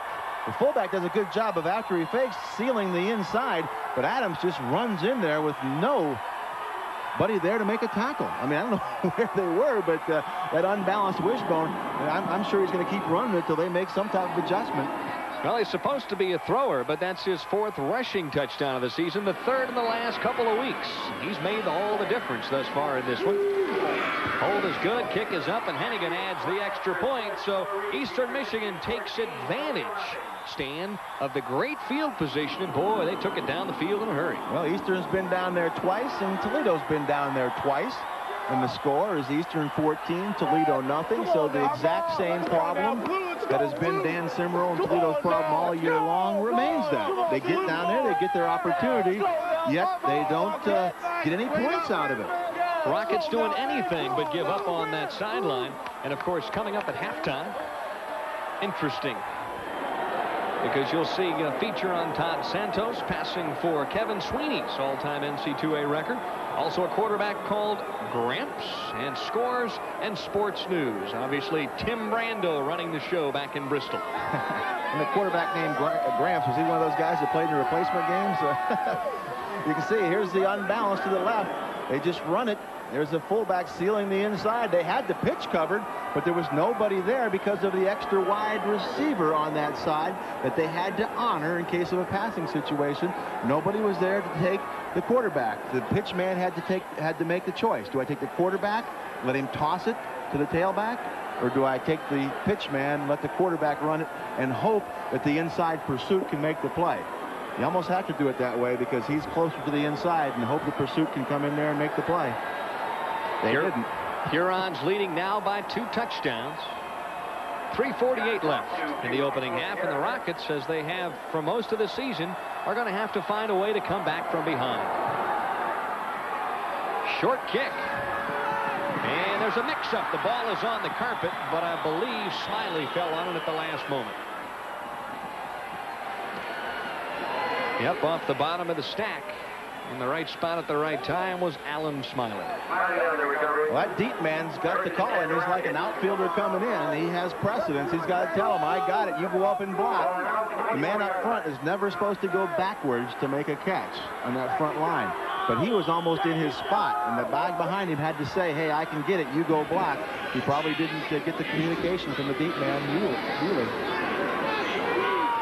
Rockets have 3.46 left in the first half. They're going to have to get things done in a hurry. Perry falls down, ball thrown a touch behind him, and John Perry can't come up with a reception. Yeah, three or four times Bergen has had problems throwing to that left flat when he has to turn his body and throw out to the left. The right flat, he's getting the ball there, but when he goes left and throwing across his body, the ball's coming up short. The tight end a couple times had to stop and come back. Now this time the fullback He's just got to let the ball fly going that direction. Perry has been his favorite receiver thus far this year. Perry with 20 receptions out of the backfield.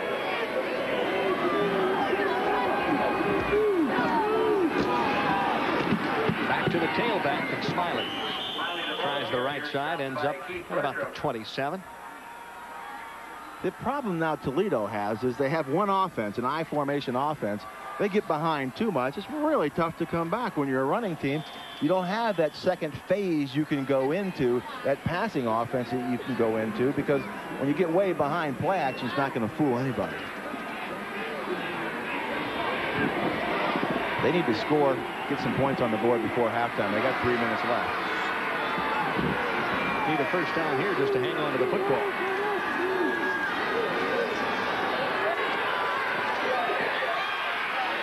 Time Hughley gathers it in, and it's more than enough for the first down, so they'll move the sticks out to about the 43. And again, that time he went to his left, rolled to his left, and threw on the go and made a good throw. This is a tough throw. This is one of the toughest you're ever going to make, and Bergen made it well.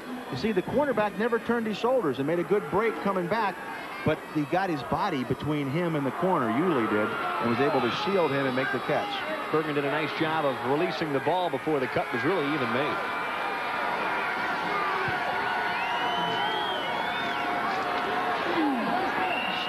Belted down at the 44 after a gain of a couple.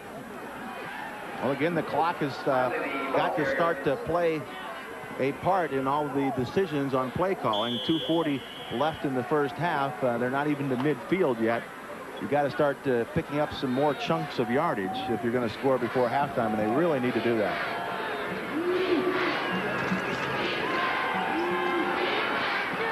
With a pump fake, and then he's dragged down from behind. Eric Miller with the sack behind the line of scrimmage. Led the team in sacks last year, and that uh, puts him in to the team lead now this year. Four and a half sacks. Mike Burns was leading with four sacks. So the guy's a consistent player. He continues to rush, continues to put pressure on. All four of those guys are right around three and a half, four sacks, two and a half on the season. So they all four continue to put that pressure on. And the defensive interior made up basically of senior players. Well, pass incomplete for Isaiah. And Charles Gordon was draped over Rick Isaiah like the curtains in the living room. Well, the question was, was he draped uh, a little bit too early on that one? That was close to being pass interference, but the ball may have been tipped. No, it wasn't tipped. Uh, I wouldn't call that. It was just uh, on his legs. That was more incidental contact. I think it was a good play by the by the defensive back, Charles Gordon. Now he's going to return the punt. He's a busy man. Krim with an end-over-end kick. Gordon at the 27. A little nifty move across the 35 to about the 37 where he's wrapped up. 141 left in the opening half. And the Hurons lead 14 nothing. With a football and a two touchdown lead as we near the end of the second quarter. Do you think that uh, the Hurons will load it up here, Stan? Well, I think they're going to go back, and they do. Unbalanced wishbone. They haven't stopped it yet. And I just keep running until Toledo makes an adjustment. If they do, come back to the weak side.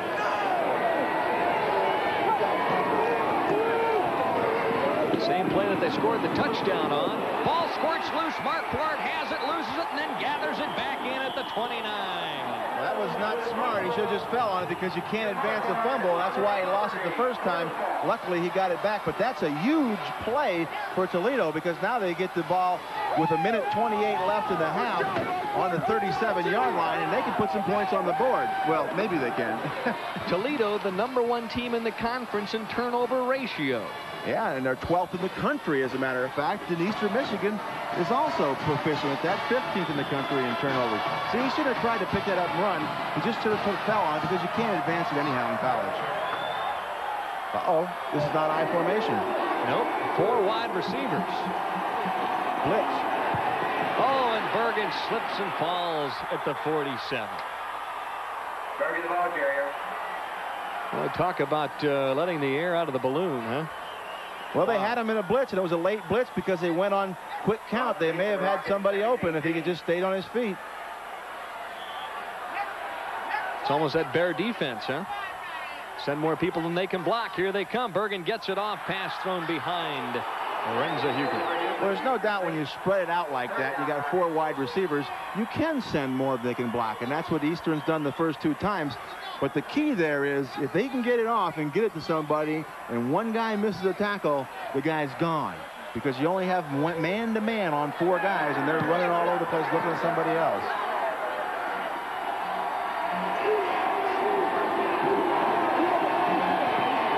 This time Eastern plays coverage. And Ricky Isaiah comes up with a heck of a catch inside the 35. It'll be about five yards short of the first down, but that gets a big chunk of it. They got plenty of time. They don't have to be in such a hurry that they're going to hurt themselves. They have 50 seconds and two timeouts left, so they shouldn't be. Yeah, it is fourth down and about five to go, and they shouldn't be uh, in too much of a hurry. They should have called a timeout and huddled. Here comes the rush. Bergen. He scrambles loose. And dropped it at about the 22, and then he got dropped in the secondary. A big hit by Menard. And he made Bergen made a great play to get away from the first man and buy time, but Isaiah just could not hold on to the football. Again, they come with a blitz. You can see the extra man right there comes through. Number 98, Scott Wyka, blitzing linebacker. He just misses Bergen. Now watch this. A good throw on the run. He's wide open. A little bit behind him, but you've got to make that catch. You know, that's the difference between scoring points and not scoring points, obviously. So with 37 seconds left in the opening half. Eastern Michigan regains control. Rockets really had a chance. Delay on the draw. Foster's loose. Finally grabbed at the 45. Now they make some yardage. Now they do call a timeout. That's right. If they wouldn't have made any yardage, they'd probably run out the clock. They already fumbled once. They don't want to give Toledo a real opportunity. But now they're up close to midfield A little bit uh, safer area to try some things. Now they can put the ball up, put the ball in the air, and even if it's intercepted, it's going to give them 60 or 70 yards to go for Toledo, and there won't be enough time. Huffman heads to the sidelines for some instructions from defensive coordinator Ron Curtis, and there you see the storyline thus far. Well, that's exactly what we talked about. The tailback rushing 85 to 66. Not a great big difference there. That's not the difference. But look at quarterback. 52 to minus 13. Going into this game, there was a 65-yard per game difference in the productivity of the quarterbacks. Now you already got, what is that, uh, 65. They've already got enough what they usually do in a game. They've done this first half. And then the key one, Toledo, two possessions inside the 20-yard line no points. Also, when you consider the quarterback situation, Ron Adams also has a touchdown run. Exactly, and that's that's the difference. We talked about before. They don't have a Ron Adams that can also run with the ball as well as throw the ball efficiently. And that's the difference. The key positions, they have just better athletes at. Eastern Michigan does. Ostrander split out wide to the right. First and 10, 29 seconds left. Foster again scoots through a hole, crosses midfield to about the 48, and Huffman once again with the tackle. Yeah, defensively, you can take your time. Don't get up too quick. 15 seconds left.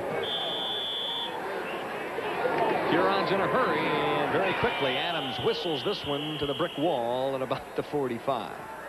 Well, John Lopp, who is the long field goal kicker for Eastern Michigan, booted a 70-yard field goal in practice a couple of weeks ago. So, uh, or so they say. Is he, is he within range, Stan? well, if he can kick at 70, he is. He's uh, right now. Uh, was he 60, uh, close to uh, 67 yards? Would it be back there if he went back from the 50? And of course, stay tuned for a sensational halftime report. Tim Brando standing by. Nine seconds left. Adams with a pump fake. Home run ball. Picked off, then dropped and caught in the end zone by Ziegler. Oh, oh, oh my.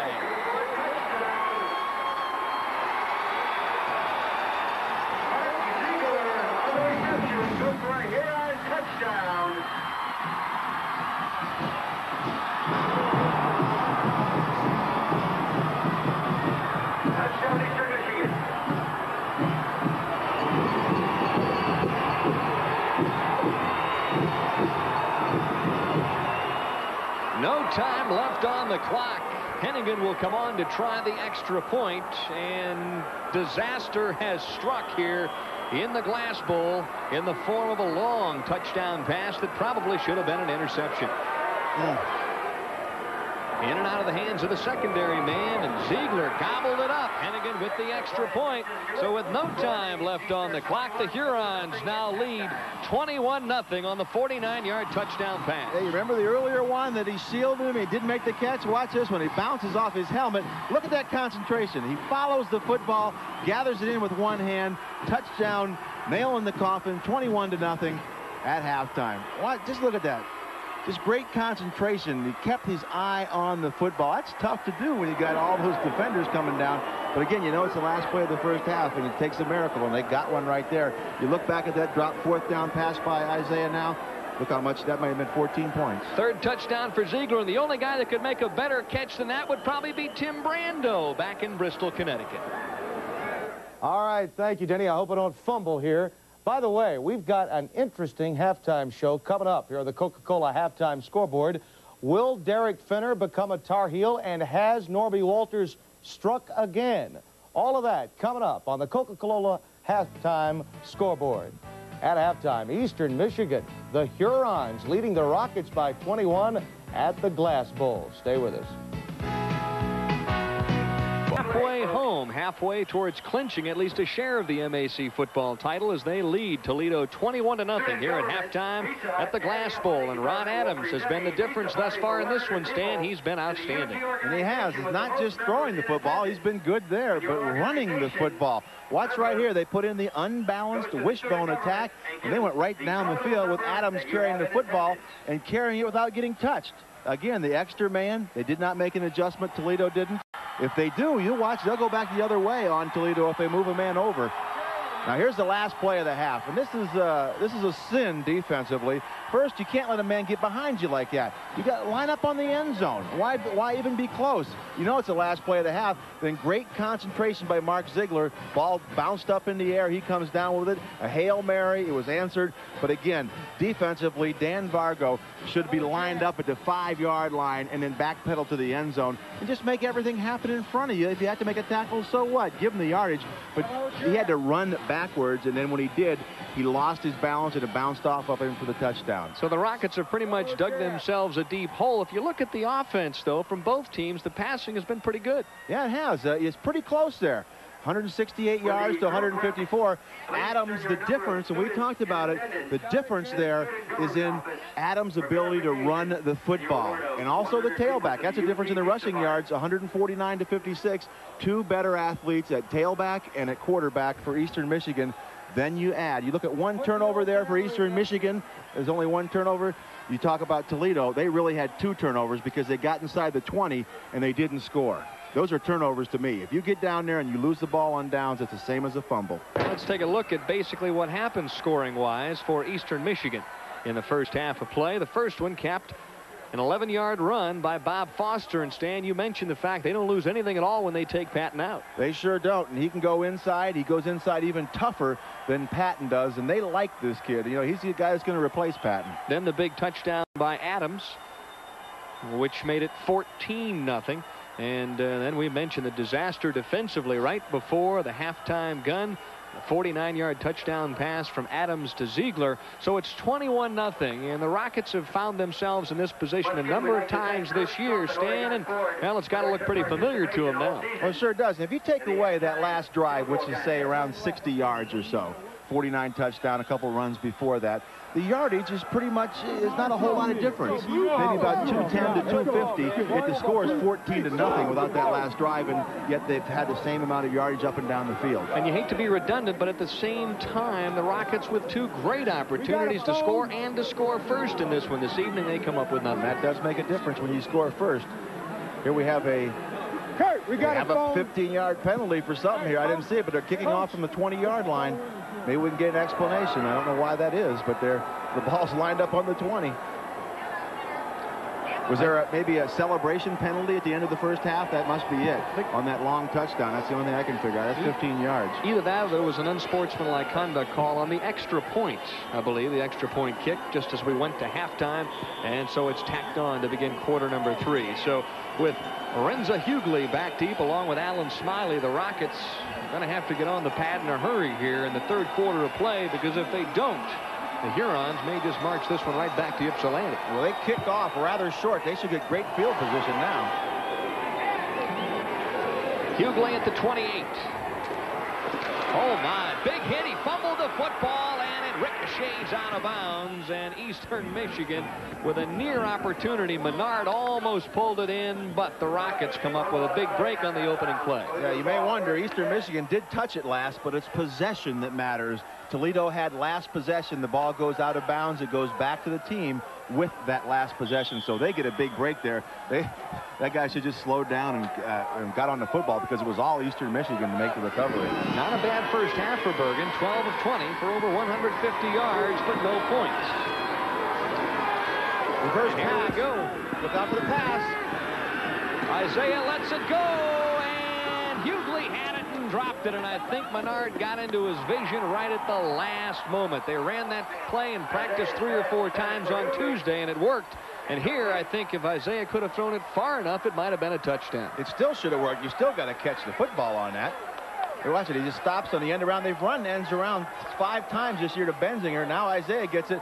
Now watch. He just happened. No, it did touch off the man. Yep. Did touch off the man. Isaiah. I mean, uh, usually may have been be better off coming back, not waiting for it like that. You got to go up after the ball when you you got to be the jump ball situation. You go up and get it. If you wait to catch it in your hip pocket, something's going to happen before it gets there. That's what happened on that one. Tom Menard with two interceptions already on the year. I think actually flicked it with his face mask at the last moment. He was beaten on the play, but Isaiah, who was a flanker and not a quarterback, just a little short on the throw. Was a quarterback in high school, though. That's right. Played at Copley High School about five minutes from where I live near Akron, Ohio. Smiley puts his head down, runs past the 50, tackled by Keith Bertram as he crosses the 50 down to about the 48. It's been a season of near misses for Toledo. And that was just another near miss on that play.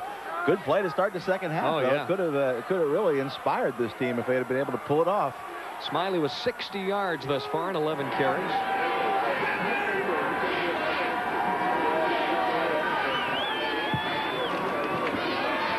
Sprint draw again, and Room. He beats Menard, and he's finally dragged down from behind inside the 30. And that may have been audible by Bergen. He saw the blitz and knew where the weakness of that blitz was.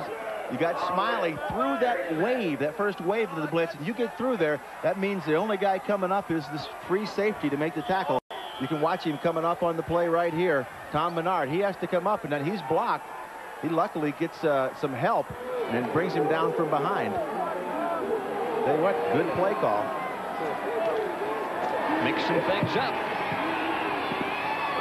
Bergen had Perry wide open at the 25, but threw it wide. Again, out to the flat. He's had his problems. Usually throwing to the right, he's done pretty well. But watch him. Watch how far behind the receiver this is. You got to lead him. That's uh, You're lucky you don't get that picked off. You throw short to the flat, you're liable to get a guy breaking in front and going all the way with it. Bergen has yet to throw a touchdown pass this year, and now would be an opportune time to come up with one.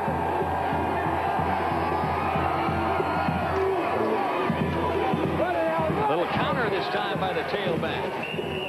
And finally wrapped up by Bertram.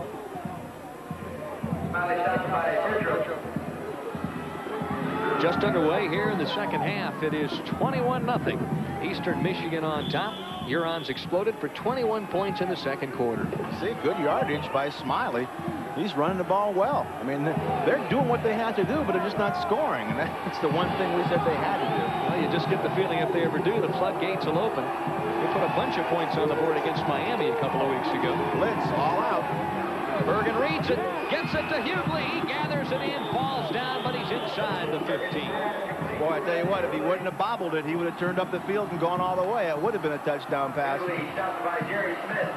Well, I know you spent many a halftime listening to Woody Hayes give you the old uh, college try speech. You think the Rockets can pull one off here? well, they need to get a quick score, that's for sure. And uh, Woody sometimes just didn't say anything. He just went in there and uh, let you know how he felt in other ways. That had to be a lot worse, huh? yeah. You, you wish he started talking. First down and 10. Rockets are on the move, and boy, do they need to reach the pay dirt. Smiley cuts it up through a hole and gets near the 10-yard line. Well, they're inside the 20 again here, Denny. Uh, they're, they're, they're 0 for 2. This is the third time. 21 to nothing Eastern Michigan with uh, 12.50 in the third quarter, and they need to put some points on quick. You just have to wonder what might have happened in this game had they scored the first time they took it down the field. Well, you, that's something you'll never know because it changes every play call the rest of the time when you're behind or ahead.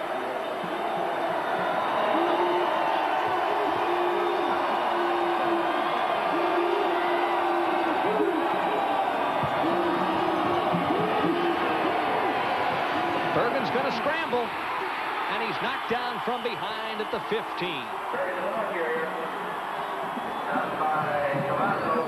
Louis Cafazzo came up with the sack behind the line of scrimmage. Boy, and he had some room to run. He kept waiting. Bergen's a guy that doesn't like to run. The Adams would have been gone in a second. But here, if he just would have noticed it just a fraction of a second, breaks that tackle, he's down inside the 10 easily, maybe down to the 5 and a first down. Now it's a big third down and 10 yards to go on the 15. Quick snap. Bergen has time to set up, going to the end zone. He's got Hughley. Oh, ball nearly picked off in the secondary by Dan Bennett. Hughley was open for a moment, but Bennett made a nice break yeah, on the football. Looked wide open. Bennett almost was hiding in the corner of the end zone. All of a sudden, you looked up. You said, boy, what a move. He's wide open. Then all of a sudden, when the ball came down, Dan Bennett had just waited in his zone, waited for Hughley to hum to him. So now it's going to try to have to try to field goal, which is, again, not a touchdown. Bruce Nichols missed on a 37-yard attempt in the first quarter of play. This will be a 32-yarder. And it's good. So the Rockets finally remove that goose egg from the scoreboard as Nichols kicks field goal number 14 on the season. It's now 21 to 3. And they'll officially calibrate it at 33 yards on the field goal, so the Rockets finally do come up with something. Would they try an onside kick here? Do they have anything to lose? They've only averaged one point per penetration inside the 20. nope. Glenard Smith gathers it in at the 13. Across the 20, out past the 30 to about the 31-yard line. Smith, the ball carrier. Stopped by Egret. Frank Egres, was the kicker, made the stop. 10 plays, 37 yards, took 318, but uh, could have easily maybe been a touchdown somewhere along the way, don't you think? well, they need to. That's 0 for 3 inside the 20, and we have a man down on the field, but 0 for 3 inside the 20 as far as scoring touchdowns. That was the problem, not just field goals, but scoring the big one, the touchdown. That's what you got to do when you get down there. Well, you made a key observation earlier in the week as you started to look at the Toledo stats. Anytime your field goal kicker has more field goals than you have touchdowns, uh, that's going to lead you lead you to believe that they're having trouble getting it in the end zone. And the spread is getting wider here. Have to find out exactly who that is down on the field. Maybe uh, number 32 for Toledo, Rick Hara. See if we can see him right there. You see the left-hand side. Uh, tough to see what happened to him, though. Looked like he just tripped over his own man. Mm-hmm. Yeah, he's in a little pain. On the left right side there. the. Maybe, there we are. Maybe it's his own man whipped around. There it is. You see it the whip? That happens so often. He's got a knee, a knee problem. Looks like a hyperextended type deal. Wasn't from the side, but it was straight on. So many times uh, you end up on that whip when one guy comes whipping around and just smacks you. As he, with he, he actually leg whips his own man, which is what happened there. He caught that full forward, so it's probably not any of the side ligaments, but the cruciate ligament, which holds it going frontwards and backwards. Well, with the velocity that those guys hit each other with, it's a wonder they don't get injured more often. And of course, coming up this Sunday, NFL Game Day, 11:30 a.m. Eastern Time. Chris Berman, NFL Primetime, 7 p.m. Eastern Live, and of course the Patriots and the Giants. They'll kick it at 8 o'clock this coming Sunday night. And we see Hera being helped off the field, and uh, boy, that was a vicious leg whip down there. Yeah, sure is. And the one bad part about playing football is you learn all the uh, different ligaments in your knee. Most people don't know which ones are which, but football players know cruciates and uh, uh, anterior ligaments and so forth. Hurons will start first down at 10 now with a 21-3 lead, 11.36 left in the third quarter of play.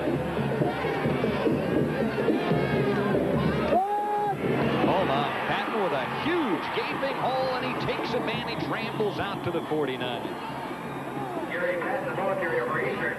Well, when you get holes like this, uh, I know Patton likes them, but really anybody could run through them. And not to take anything away from Patton, but watch this hole. I mean, watch the block by the fullback. I mean, you talk about being able to drive a truck through, and then he makes a man miss in the secondary, but you cannot give Patton or anybody that type of hole. Looks like he got a helmet in the back, too. A little bit shaken up after that play, so Bob Foster checks in. Well, no sense in running it. Look upfield and throw it. Wide open at about the 30-yard line.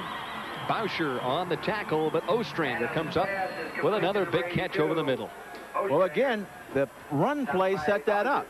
This time the linebackers are up there and said, geez, that big hole, we got to stand up and stop that hole, plug that hole. So what do they do?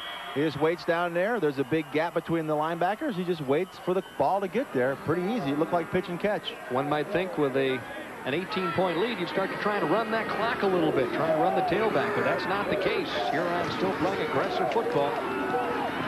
This time caught in the backfield is Foster, but he manages to get back to the line of scrimmage and maybe even picks up a yard. Well, Toledo went with a uh, safety blitz on that one, trying to fill all the gaps. If you can't do it with your normal defense, you got to take chances. And uh, you send eight men, you put one in each gap, and hopefully that'll stop the running play. It sure did that time. Keith Dunbar, transfer from the University of Tennessee, and on the tackle that time. The problem is when you split a couple of those guys, there's nobody left after the blitz. Benzinger split out wide to the right. Reverse. There it is. Crackback block. It's wide open. Benzinger turns the corner. He's at the 25 to the 20 in traffic now down to about the 16-yard line. Not a surprise. That's the sixth time this year that Benzinger has run the flanker reverse. Now he's only got six yards going in, in this game on five carries because he had some good 13 yards and some that lost. But this one, again, when you set it up with the pass and with the run, it opens it up on the reverse, too. A little crackback block there, and Benzinger just has plenty of room to run. This kid's a sprinter on the track team, so you give him some room to run with the football, he's liable to go all the way. Ball spotted on the 16. Only a freshman. He got three more years at Eastern Michigan.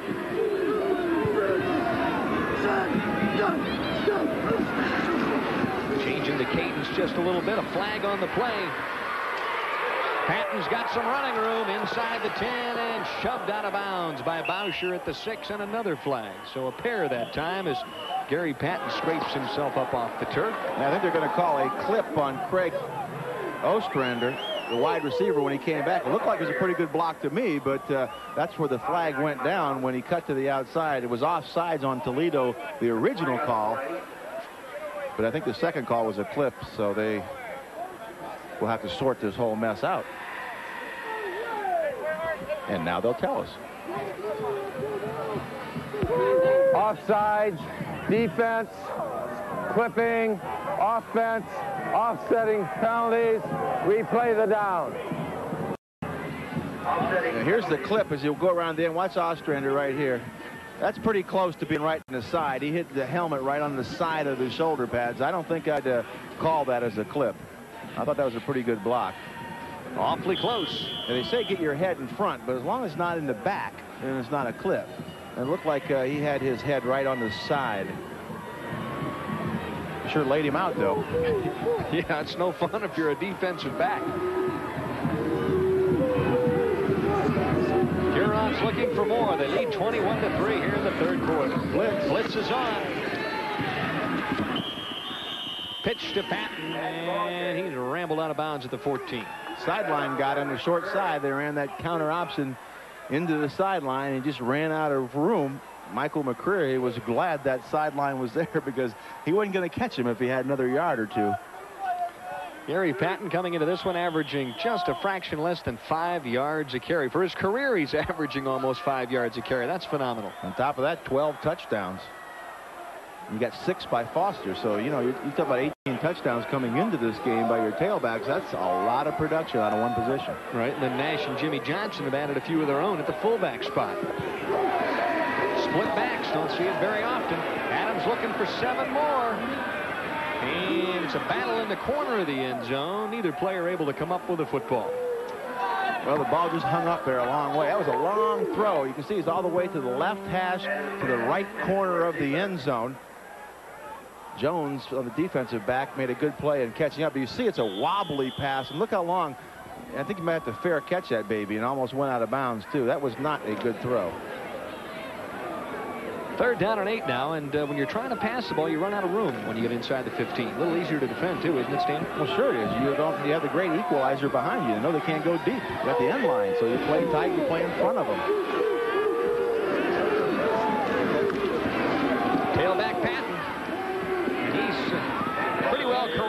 Inside the 15, back to about the line of scrimmage. Steve Huffman in on the tackle. Exactly, and watch Huffman fill the hole. This is what you have to do as a linebacker. You got to fill the hole right there. Take on that fullback. He stuffed the hole, the fullback right there, and allowed both he and his fellow players to close off the gap. You know, if you take him on too deep or back too far, it creates a separation. You need to take that guy, the fullback on right in line with the other defensive players to close off all the gaps. Tim Hennigan on to try the field goal. It'll be a 32-yard attempt. With the breeze. Splits the uprights. So Hennigan, who has been very solid this year, he's now 8 out of 9 on the season in the field goal department, makes it a 21-point lead for the Hurons. Skill, precision, strength, and stamina. To bring you the best, ESPN has assembled an outstanding schedule of NFL games. Every Sunday night, your cable connection to the NFL is ESPN. That has been a familiar sight here this evening at the Glass Bowl, the Eastern Michigan kickoff team. 24 to 3. And at this point in time, if you're a Huron fan, you realize if they win here this evening, they will share at least a piece of that MAC football championship for the first time in the school's history. Nice long kick. Smiley drops it and picks it back up. Manufactures a few more yards and gets belted out of bounds at the 26. He dribbled that one, took one hop, pushed it to the ground, picked it back up, and went. Yeah, if they uh, win tonight and Kent State can beat uh, Bowling Green on Saturday, I think that would send them to the uh, California Bowl. Yep. Of course, a buddy of mine coaches up at Kent State, a classmate of mine at uh, Ohio State, and I'm thinking about telling Glen Mason to go back to Ohio State. They could use him back as the offensive coordinator there. They need to put some points on the board. You know, Glen Mason started the season with no gray hair, but the way they've won a couple of ball games, he's been reaching for that Grecian formula as of late. Oh, my head-on collision at the 28. Smiley and Jerry Smith just flat introduced himself. Smith with 35 tackles thus far in the season from the secondary position, but three interceptions and a couple of fumble recoveries. Um, they get the most out of their secondary people. Well, I tell you what, that's what's called filling the gap on that one. There was a hole there, and he filled that sucker. Hutchinson this time splits out wide to the right. Hughley.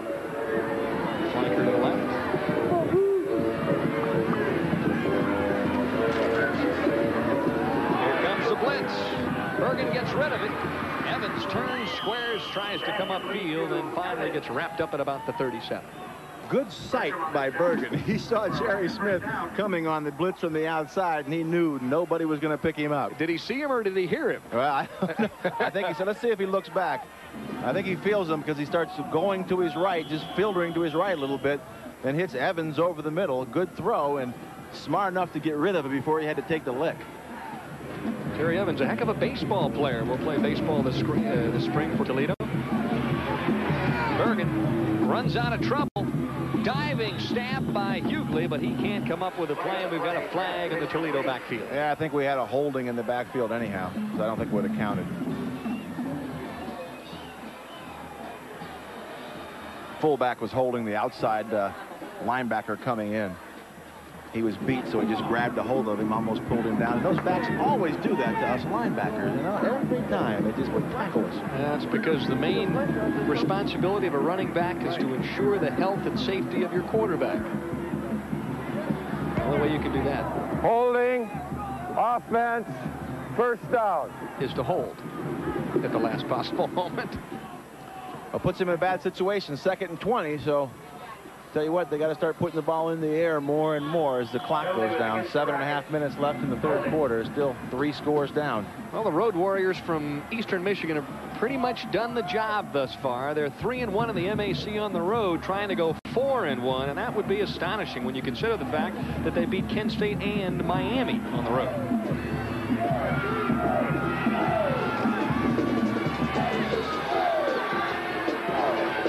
Little dump off screen.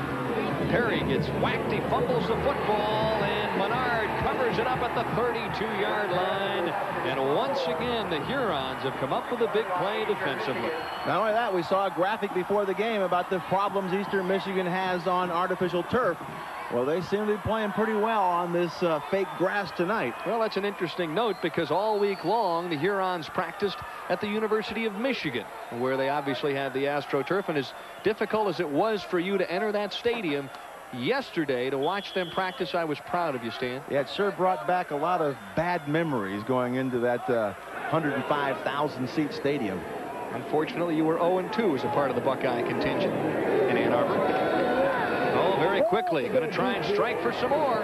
Ostrander's back deep. Oh, the ball hit him right square in the helmet. Turned underneath it, and he got hit in the back of the head. You'll hear about that in the, in the films because when you win, it's really a lot of fun, and they'll take it off to him. This hits him right square in the back of the helmet.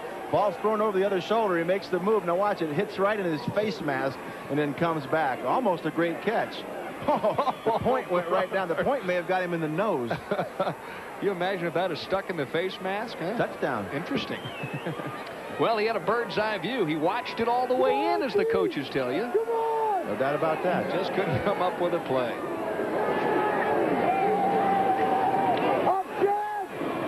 Oh, a dangerous pitch, and the ball comes right back to Patton, almost as if it was like a yo-yo. well, they came with the all-out blitz, and Ron Adams knew he was going to get smashed, and he said, I'm just going to try to lead Patton with the ball. Well, he let him a little bit too much, but on the AstroTurf, you get a lot of true bounces. It just came up right to Patton. Watch, see the blitz coming? Nobody on him. He said, let me get rid of this football. He throws it out in front of Patton. He really wasn't looking. He, he just assumed where Patton would be. And luckily, again, he came up with the uh, ball and got back to the line of scrimmage. That's a, a great play just to get back to where you were. Jim Harkema pondering the future of his Hurons. Benzinger's in there. Look out.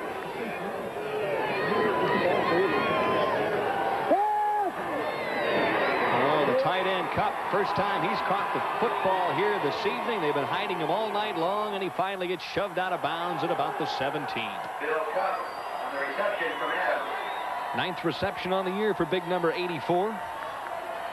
He's been quiet all night. Yeah, I expected them to throw the football quite a bit more to Cup, the tight end on play action. I thought we'd see a lot of those. Well, he's a converted defensive tackle, and Jim Harkema says he may be our best by the time he's done playing here. It's 24-3. Hurons on top by three touchdowns in the third quarter. Patton running out of trouble. Cuts it inside the 10 down to about the six-yard line where John Boucher finally wraps him up. Again, just not keeping contained. Uh, he made that all his own. They had played well in the middle. It only takes one guy to break down on defense to ruin everything you're doing. All those guys busting themselves up front, taking on people, and the man does not keep his containment, and uh, Patton just makes a great break around the end and goes down for a first down at the six-yard line. Patton second among the MAC records as far as all-purpose yardage is concerned, and I don't think he's going to quite catch up with Miami's George Swarn, but uh, nevertheless a tremendous career. There you see the wishbone Jimmy Johnson tries the left side. Marquardt holds on for dear life. The rest of the Rockets catch up. And the pursuit finally hauls Jimmy Johnson down at the two. That's pretty good running by Jimmy Johnson. They told us uh, he was a tailback playing fullback and really wasn't the fullback type, but he sure runs like a fullback this time. They ran with Patton blocking. You can see Patton wasn't much of a blocker on that. But uh, I tell you what, Jimmy Johnson wanted to get into that end zone. He almost carried three people in there. But that's why you don't assume they're going. You don't think they're going to go to Patton's side because he just did a little duck into the turf and didn't touch anybody. Marquardt tried to tie and rope him. Finally dragged him down at the two. Fullback and did Nash get home? I don't think so. Nope, he went over the top and didn't get much. There wasn't a whole lot to get on that one. Brian Gable and Tony Hercel. Defensive interior front. Jim Harkema wants, uh, he's telling them something. You see what they do on this is that one man signals in the formation and then he sends in the play. But with this wishbone, now they are going to send in a back with the play. The number one scoring team in the MAC, the Eastern Michigan Hurons, averaging better than 26 points a game.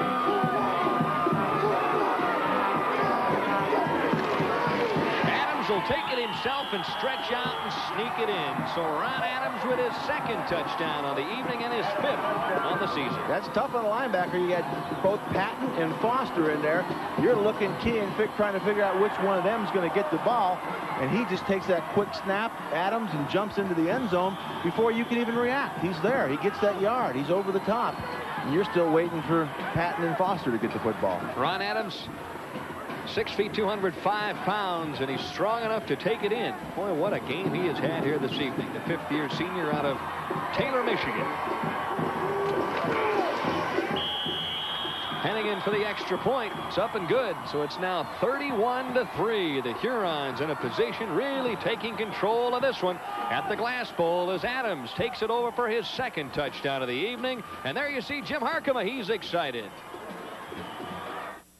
Action on ESPN. The defending Super Bowl champion New York Giants take on the New England Patriots at 8 Eastern right after NFL primetime on ESPN. Well, it's a little too early to start celebrating, but at the same time, when you lead by 28 with just 4.15 left in the third quarter, uh, your spirits have to be brightened if you're rooting for Eastern Michigan. Well, you look across and you see a lot of Eastern Michigan fans just reveling in this near uh, share of the championship. And we talked about before the game how far they've come.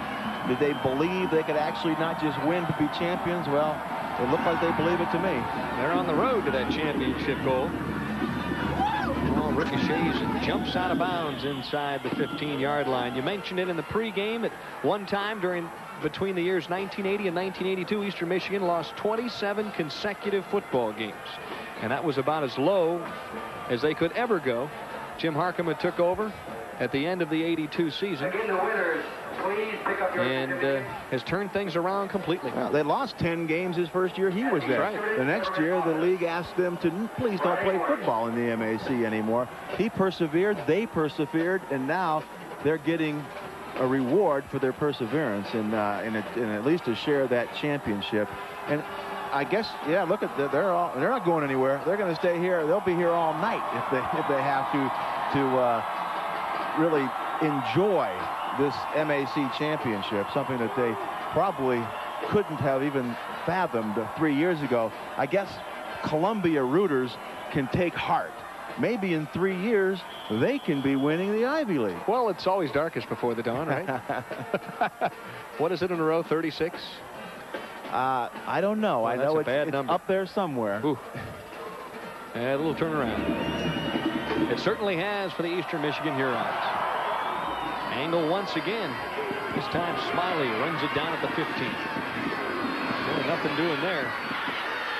Tries to break through a couple of tackles and does so and finally ends up at the 26-yard line. Well, to set the story straight, Kent State would play Bowling Green this Saturday if Kent State wins. And then obviously it's championship time. And there you see the scoring drive. And the man who took it over from the one, a very tough customer for Jim Harkema, is quarterback Ron Adams. Yeah, and you have to contain him. We talked about make him throw the ball. You know, contain him, contain his scrambling. You know, he's going to beat you more with his legs this year than he is with his arm. Now, he threw that one Hail Mary pass, and he's throwing the ball pretty well, but where's he hurt you the most? Running the football. Bergen on the roll. Oh, great effort that time, but can't come up with a play. Pat Johnson Pass intended for Pat Johnson. had it and then lost it. Hit him in the worst possible spot, right, Stan? Well, they love to throw that fullback either on a delay pattern, which was the fumble play right before the last touchdown drive of Eastern Michigan to John Perry. And this time with Pat Johnson in there, hits him right in between the numbers. And that's why they're, I guess, they're fullbacks instead of tailbacks.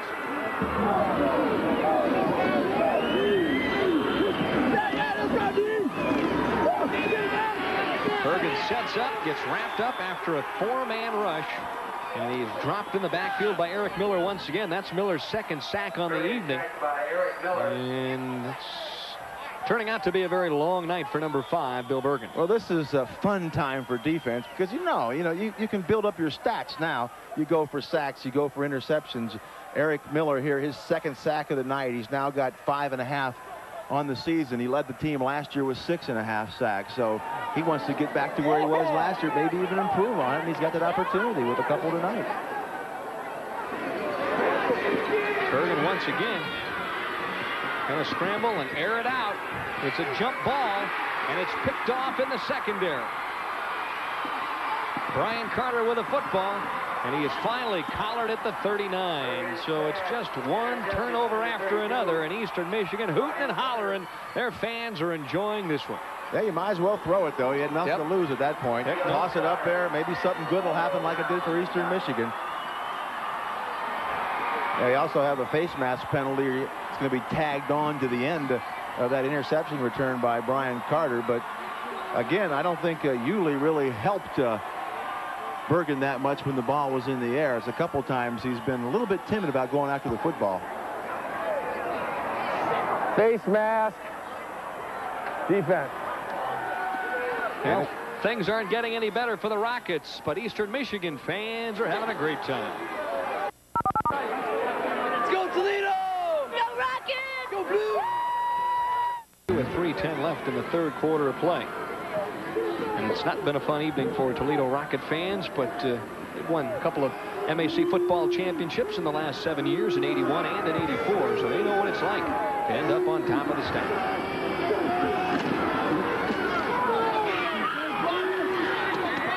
Foster down to the 15. where he likes to run the football. He likes to get that ball inside and make that cut. We've seen some films where he just busted right up the gut and walked into the end zone. Sometimes even carried people in the end zone. Tough runner. You know, it's a nice luxury for Jim Harkema uh, to be able to play a sophomore tailback as much as he has Foster this year to prep him for next year. Well, that's because he knows you don't lose a whole lot. Six for 60, 10 yards a pop. That's pretty good.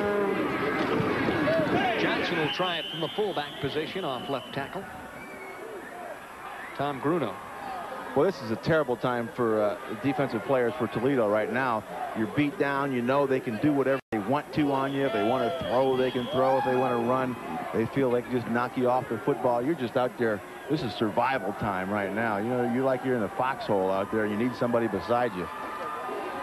Well, the most wins in over a decade for an Eastern Michigan team was 8 and 3 back in 1977. Should they win tonight, they'll be 8 and 2 heading into the season finale.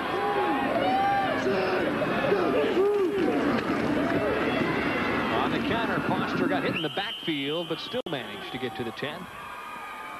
Foster the ball carrier. Dwayne Smith, Dwayne Smith. only a freshman out of Genesee, Michigan. They're very high on that youngster. And on the tackle. Yep. Toledo's going to play a lot of people right now. I'm sure that uh, Dan Simrell's looking to see what type of talent he's got. I mean, at this point, realistically, you got to start looking for next year, looking for spring practice, see what type of people you can do, give them some game experience, see if they can play. Rockets losing a pair of games this season by less than five points. Foster again, this time grabbed in the backfield by Brian Gable. Six foot four inch, 236 pound senior out of Richfield, Ohio. Foster the ball carrier. Stopped by Brian Gable. Yeah, it's got to be tough on the seniors at this point. Coming in here, it was Parents' Day, you know, our last game here. It's tough to go out this way. You know, they've had a, a lot of them been here for five years, and to go out, you know, in a national television game like this, when you had high hopes and go out being down 31 to three at the end of the third quarter is tough.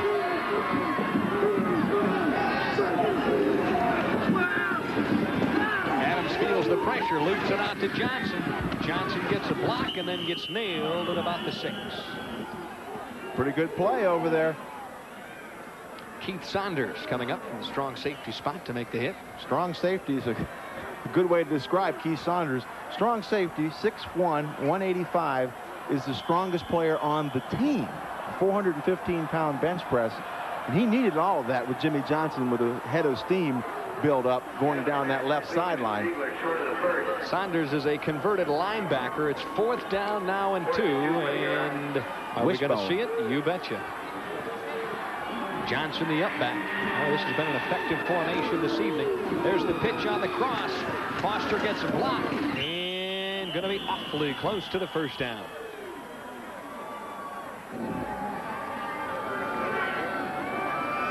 They had been they had been uh, 71% of the time they had made first downs on fourth down. And it's a first down. Raise that percentage. And we've finished up three quarters of play. It's 31-3. Believed all along that he could coach this team to an MAC championship. It was just a question of convincing convincing his kids, and he has. His fifth-year seniors as they lead 31 to three, and they're looking for more here at the start of the fourth quarter.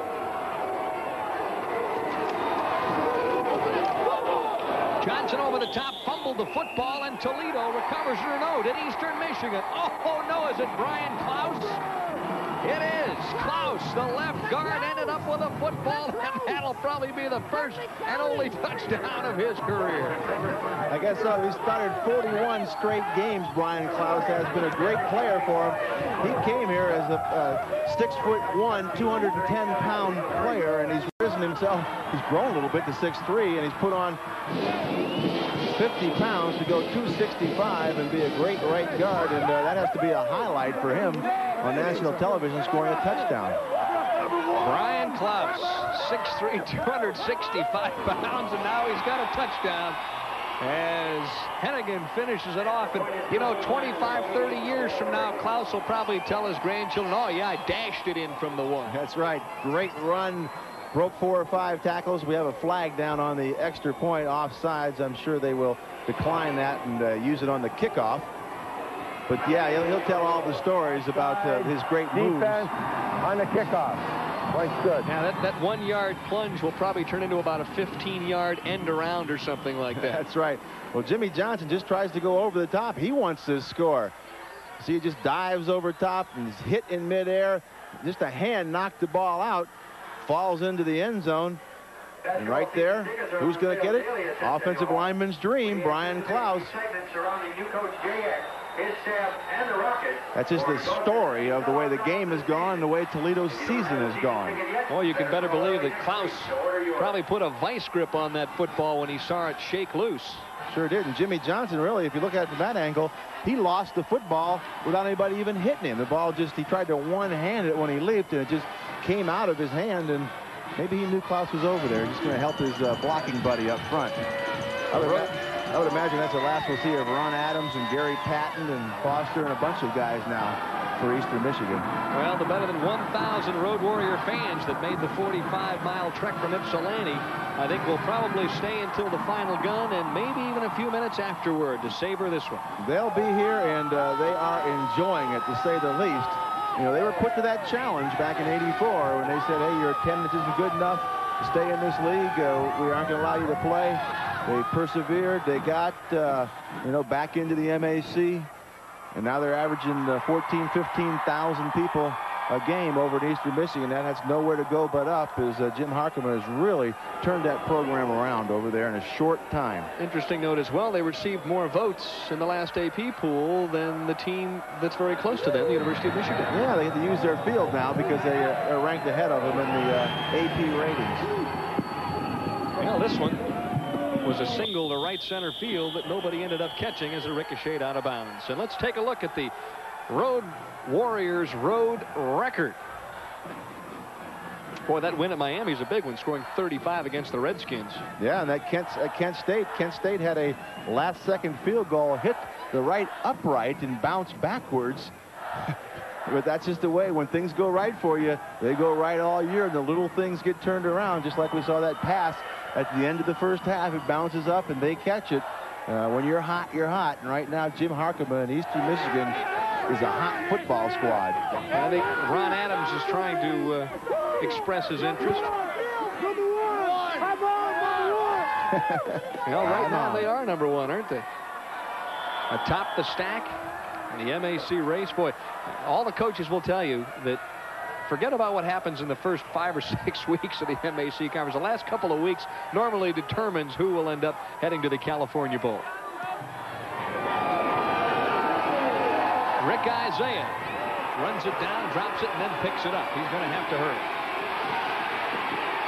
Snowed under at the five-yard line, and sometimes it just doesn't go right. yeah, you can't. Nothing else can go wrong for these guys. Well, I guess it could. They could uh, hand the ball off to the wrong team here going into the end zone. But uh, Toledo's uh, year is just epitomized by what's happened tonight. Just everything is going wrong. Luckily, unless hope remains that way, nobody's got hurt. The amazing thing is 10 MAC teams have come in here, the last 10, and gone away losers. As we've got a change at quarterback for the Toledo Rockets. Number 15, Mark Melfi, takes over.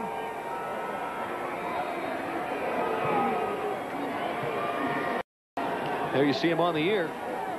Two touchdowns, two interceptions, and uh, really was playing quite well until he tore some ligaments in his right index finger against Northern Illinois. That can affect the quarterback. Yep. Your right hand when you're right-handed. Uh, I've had uh, some ligament uh, damage. I don't know how he can throw the ball at all. Still coming off that injury. It's kind of a mesh between a runner and a thrower. Nice hole opens up that time for Neil Trotter, who crosses the 20. Of course, the season's not over for Toledo. Obviously, they play on the road against Central Michigan, and then they have a big one down south.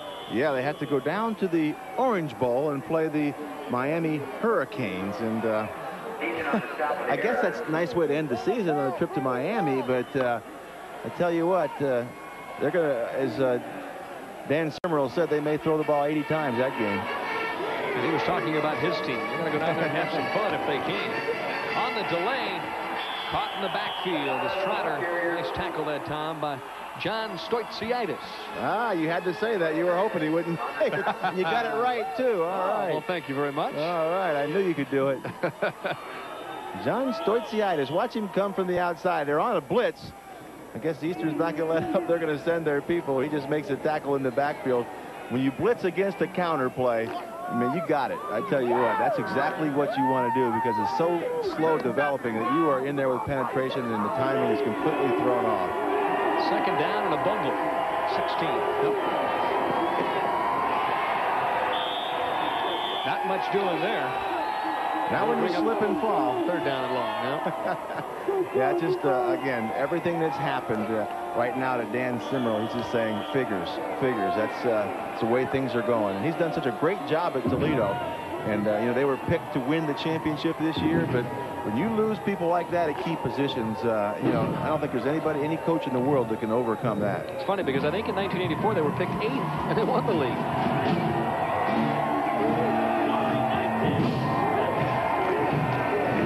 Salvage a first down. Melfi in trouble.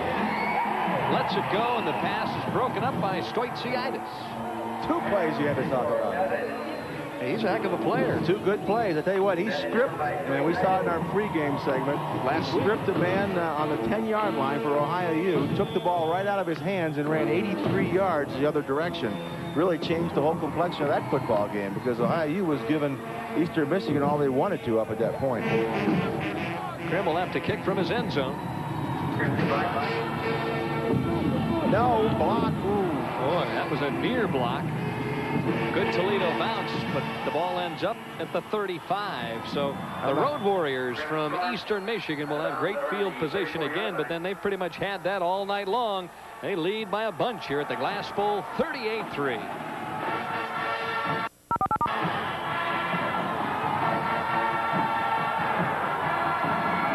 Presentation of college football is being brought to you by AT&T.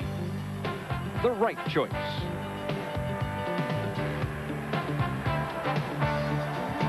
And for the first time this evening, Tom Sullivan will quarterback the Eastern Michigan Hurons, so Ron Adams is done for the night.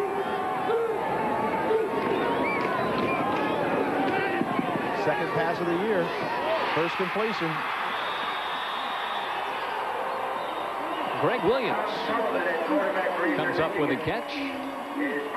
Or was that Ostrander? Nope, Ziegler. 0 for 3. That's right. Sullivan 0 for 1 going into this game. He came in last week against Ohio U in a mop-up role, just handing off. And uh, Jim Harkema said he didn't want him to throw because he felt for the coach at OU didn't want to pile it up, but he really feels he needs to get this guy some game action throwing the football. Well, he hasn't seen much playing time. Johnson now in the tailback position crosses the 15 down to about the 14.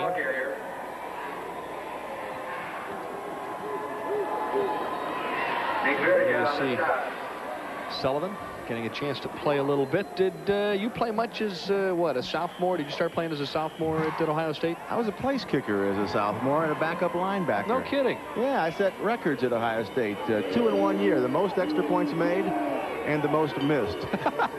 How many did you make? I made 39, missed 13 extra points, so you know I went to a linebacker full time the next year. Oh, jeez. 13. Well, they scored enough touchdowns, that's for sure. And so is Eastern Michigan here this evening. Jimmy Johnson pulled down from behind. So, in other words, you kicked as a sophomore and then gave it up as a junior. There's a lot of wind in Ohio State. Say Sullivan is uh, you know new into the game, and the snap is always the key. Sometimes it's tough. You haven't worked with the center. Watch him right here. Has a tough time. He just holds on to it with his fingertips makes a good play out of it. That ball could have dropped down, but he stayed with it, got the fingertips, and pulled it up and handed off. Boy, on a cool night when you're standing over there on the sidelines, haven't had a chance to really get a feel for the football, although he's probably been clapping all night long. Sullivan takes a good look at the secondary. Now he's going to pump and run for his life, and he's finally wrapped up and thrown out of bounds. You know, Jim Harkema, when we asked him yesterday, he said, listen, what happens if Ron Adams happens to get hurt or dinged and can't play? Do you have anybody? I mean, the other guy's only thrown one pass. He said, listen, Tom Sullivan is a good quarterback. We can win with Tom Sullivan. Now, of course, he wants to get him some experience here, let him run the team a little bit, but he has a lot of confidence. He was surprised me as much confidence as he showed in Tom Sullivan for as little as the guy has played. I'll try a field goal now, huh? Hennigan checks in, and it'll be Wait a minute, it's John Lopp. That's right. Lopp will attempt for the first time this evening. And that one's not even close. Way wide to the right. No more points for Eastern Michigan, but they got plenty at this point. Someone is still having fun on the sideline, if you can believe that, uh, dressed up as a Toledo Rocket. Is that the Rocket Man? Uh, I guess it might be. Well, he's not giving up. That's the important thing. Melfi with room to run. Pops to throw. And he completes the pass. Out to about the 32-yard line. Joe Windover. Joe Windover. Fourth reception on the season for the sophomore from Midland, Michigan. Well, it's been a tough year. Steve Kean started at quarterback. He got injured in the Toledo or the uh, Temple game. And Melfi played some. Bergen got hurt. Melfi came in last week against Kent State. Took him right down the field to the 10-yard line and within reach of uh, the winning touchdown. Just couldn't quite get it in.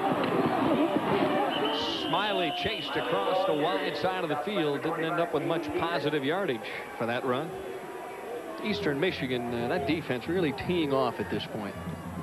I tell you, this is fun time for the defense. You just let them rip. Nothing to worry about. You go for your stats. You know, sacks, interception, take gambles here. That's, this is fun time for defense. This is the part I never wanted to come out of the game now. He's sending the other guys, no, no, I might get interception or something. Tip ball, who knows? Don't take me out now. Oh. I can't believe you're saying you defensive guys are something else. Yeah, just greedy guys, you know. Take anything you can get, right? Trotter escapes two, three, four hits, and he still keeps driving forward that was about as impressive a run as we've seen all night. And uh, there's a Western, I mean, Eastern Michigan player down on the field right now, Mike Scuba. Mike Trotter turned into a battering ram on this play. Watch all the missed tackles. Just a counter play. Luckily, no blitz. Two men blocked one, and he just took on all the rest of the people himself. One, two, three, four, five. The sixth guy, he didn't even get him down. I tell you what, that's a strong run right there. That uh, that gives you a lot of uh, confidence in that man's ability to uh, progress as a runner. Injured player down on the field. We'll find out who that is in just a moment or so. 38 to 3. And obviously those students are well aware of Chris Berman's record picking those NFL games on game day Sunday, Stan. He's way ahead of the game, isn't he? Uh, I don't know. Wh which game? NFL game day. And Chris will be there live and direct 11.30 a.m. Eastern live, of course. And then NFL primetime starts at 7 o'clock. And uh, all the action, Patriots and the Giants trying to regroup if they possibly can. Just all of it on ESPN. You're playing golf with uh, Chris Berman. You better wear a hard hat. That's all I got to say. and not step in front of it. Fullback comes up with a pass reception and runs it out to about the 48. Stopped by Dan Bennett. And that man right there, he looks very familiar, the head coach of Notre Dame, Digger Phelps, and he's here on hand to watch his son, number 41, Rick Phelps, play for the Toledo Rockets. Unfortunately, uh, Rick Phelps is uh, on the Toledo kickoff team, and they haven't seen a lot of action tonight. Nope. Right about that. Nice to see Digger on hand, getting those Irish ready for the upcoming NCAA basketball season. Stopped by English. Now, he's not going to leave, is he? No. He was just Heck no, the parents eat, never right? leave, right? Yeah, all right, okay. It was funny. I had a chance to watch his son practice a little bit this week, and uh, I will say this: I know why he's not playing basketball. He he really does enjoy contact. When he goes down the field, he's going to find somebody to run into. Hopefully, it's a ball carrier. I tell you what, Digger's basketball players all look like they enjoyed contact when I saw them play. Are you kidding me? Yeah, that's a physical style over there. Melfi gets it out, but Windover just can't quite stretch out and hang on. Intended for Windover. 7.50 left in this one. The flag down over here uh, on the other side of the field. A little altercation, maybe a little holding penalty on the defense. And believe it or not, they were blitzing on that play. you kidding me? They aren't going to let up at all, are they? They're going to want to keep them off the scoreboard. Well, you have to think a little bit about that. You know, they got to play them again next year. That's right. Better uh, mind your P's and Q's because what goes around comes around. Well, when you consider how far this program has come in just five years' time. And uh, it was really very enjoyable to sit and chat with Jim Harkema yesterday afternoon after they had practiced. And he said, you know, it's, it's been such a long road, but we've come a long way. And I think the kids finally realize that now they have a chance to walk through the door and become champions. And boy, they have played like the MAC champs here tonight.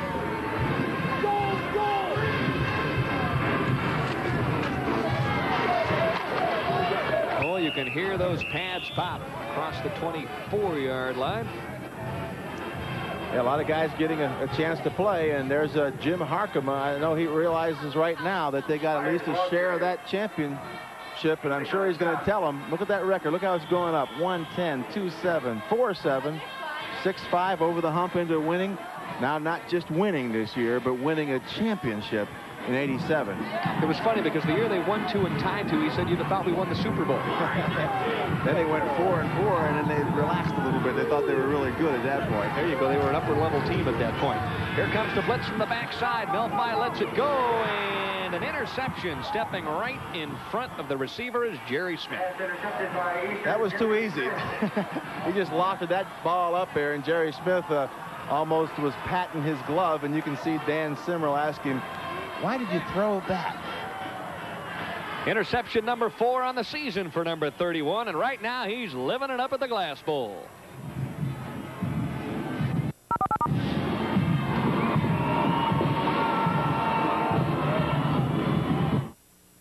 T. Rowe Price. Have a, a problem with their formation here. It's unbalanced, and I don't think they want it unbalanced.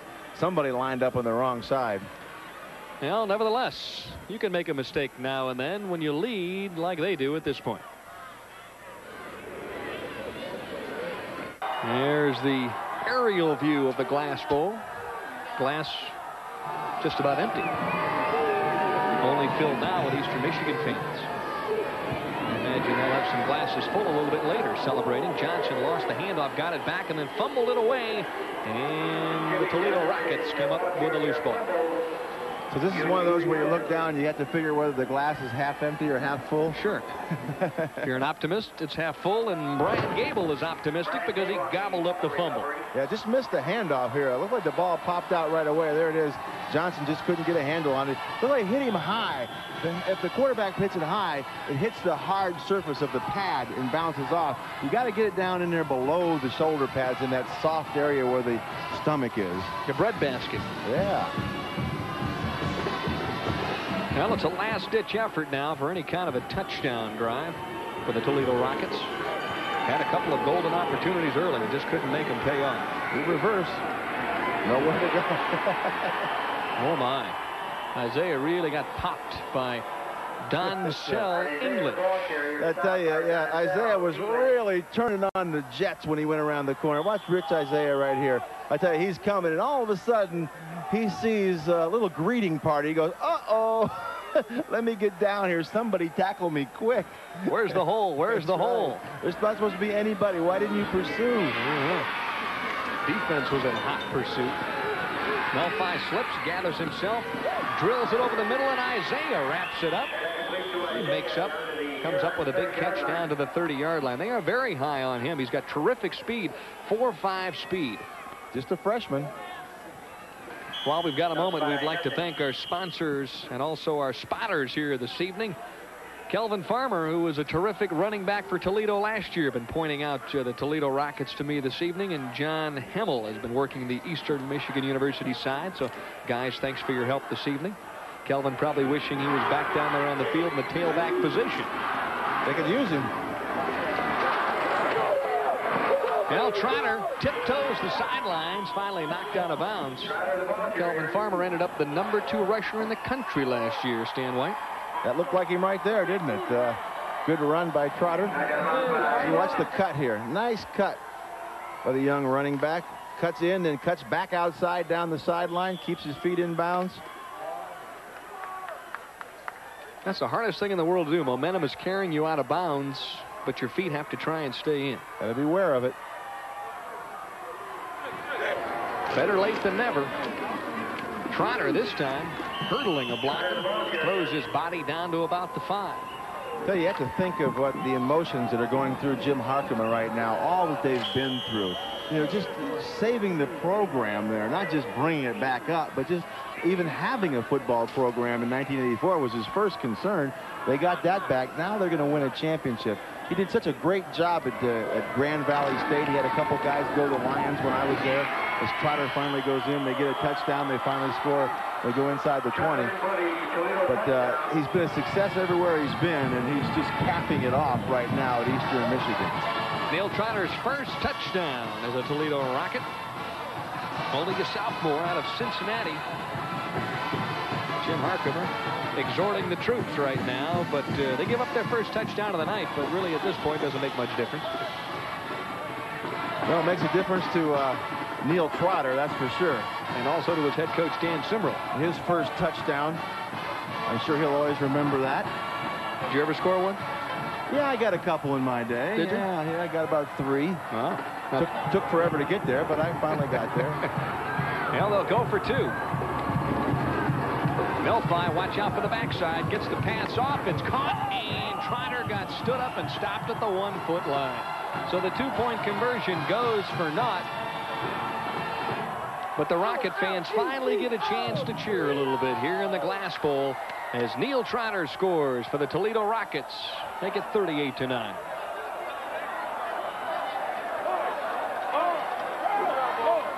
Amazing, 38 to 9. Everybody billed this one as a very close football game indeed, but the Road Warriors of Eastern Michigan have taken control of this one and notched victory number four on the road in the MAC Conference. Gary Patton picks it off at the 20. And when was the last time you watched him run straight out of bounds? That was just uh, that was just get the ball and don't get hit. There's Rick Phelps, Digger's son. Let's uh, ISO on him. I think a little extracurricular activity. Gets a little late start, but he's humping down the field.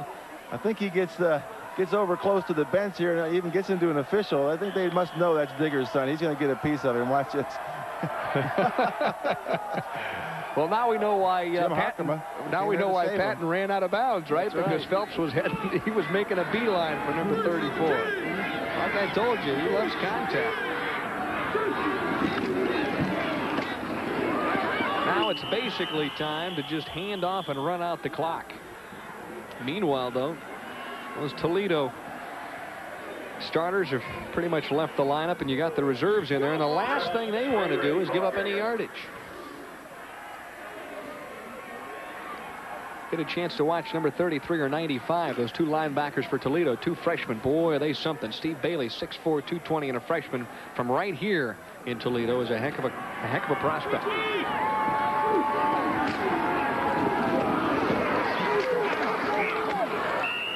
Well, Jimmy Johnson's got a chance to carry that ball, that's for sure. Only trouble is about five, six guys in those dark blue jerseys keep catching up with it. Yeah, the offensive linemen now, I guess, are, are not the first line guys up there, and they're just trying to feel their way around. But uh, again, I'm sure it's uh, it's good for him just to get back in that tailback position because I don't know too many tailbacks that uh, that like to play fullback. Although Marcus Allen played fullback for a year out of U U USC before he became a tailback, so some of them can do it. Most of those tailbacks don't like to block, though. I'm going to tell you, that's a dirty job. They got to run into people like you all the time.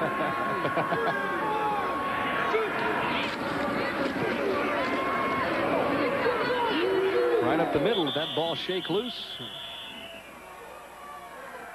Might have. It did. Eastern Michigan got it back. Just enough for a first down. Keep the, keep the clock running and uh, move it right on down. Right now, uh, Eastern Michigan right now, I think just wants to uh, start the party, start the celebration. Because now they got, what, 10 days, the nine days? They got a little time to relax and enjoy life a little bit. Mm -hmm. And savor this one because now they've got at least half of the MAC football championship. And hopefully, if it comes down to a game against Bowling Green next week, they would come up and win that one. Uh, that obviously is if you're a Huron fan. If you're rooting for BG, then you're hoping that they can figure out a way to beat Kent State this week and then also maybe go to Rynearson Stadium and come up a winner. I, I know one thing is for sure. In the Mid-American Conference, as competitive as it is, you have to wait until they sound the final gun of the final game to determine who's going to head out to Fresno, California on December 12th to play in the Bowl. Looks like, uh, what, San Jose State for sure out there? I think they have to beat Pacific this Saturday. If they do, they win. Now we got officials throwing the flag here at this point. Don't you hate that as a defensive player? yeah, yeah, that's what I'm saying. Come on, give me a break. Get the game's over. Let's just uh, run it out. Have a good time here. Try to get some yards. Try to get some tackles. You don't need to call those little holding penalties in the interior line. They don't mean anything now. Well, it's air time for some of the officials. There's a, uh, a sad guy right now. He does not like to lose at any time especially doesn't like to lose bad, and especially doesn't like to lose bad on television. Mm -hmm. And he bleeds midnight blue when they get beat. I'll guarantee you that. Born, bred, and raised, educated here, played his football here, and uh, has been a coach here ever since the get-go, and uh, has been head coach for the past six seasons and done a marvelous job. But this will be a, a tough pill to swallow here this evening. Well, Toledo had a long winning streak back in the my days. Uh, Frank Lauterbur was the coach here. In fact, I played uh, for Frank. He coached me in pro ball for a couple of years at Baltimore. Yep, from 69 through 71, they won 35 consecutive games.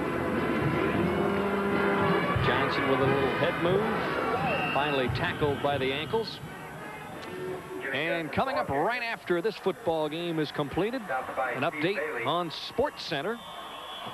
And look at that. David Robinson signs. They got to be uh, partying down in San Antonio because the franchise man from the Naval Academy is signed on the dotted line. And what does that mean for the Spurs? Well, it means a lot because they were in danger of losing that first pick in the draft if he doesn't sign.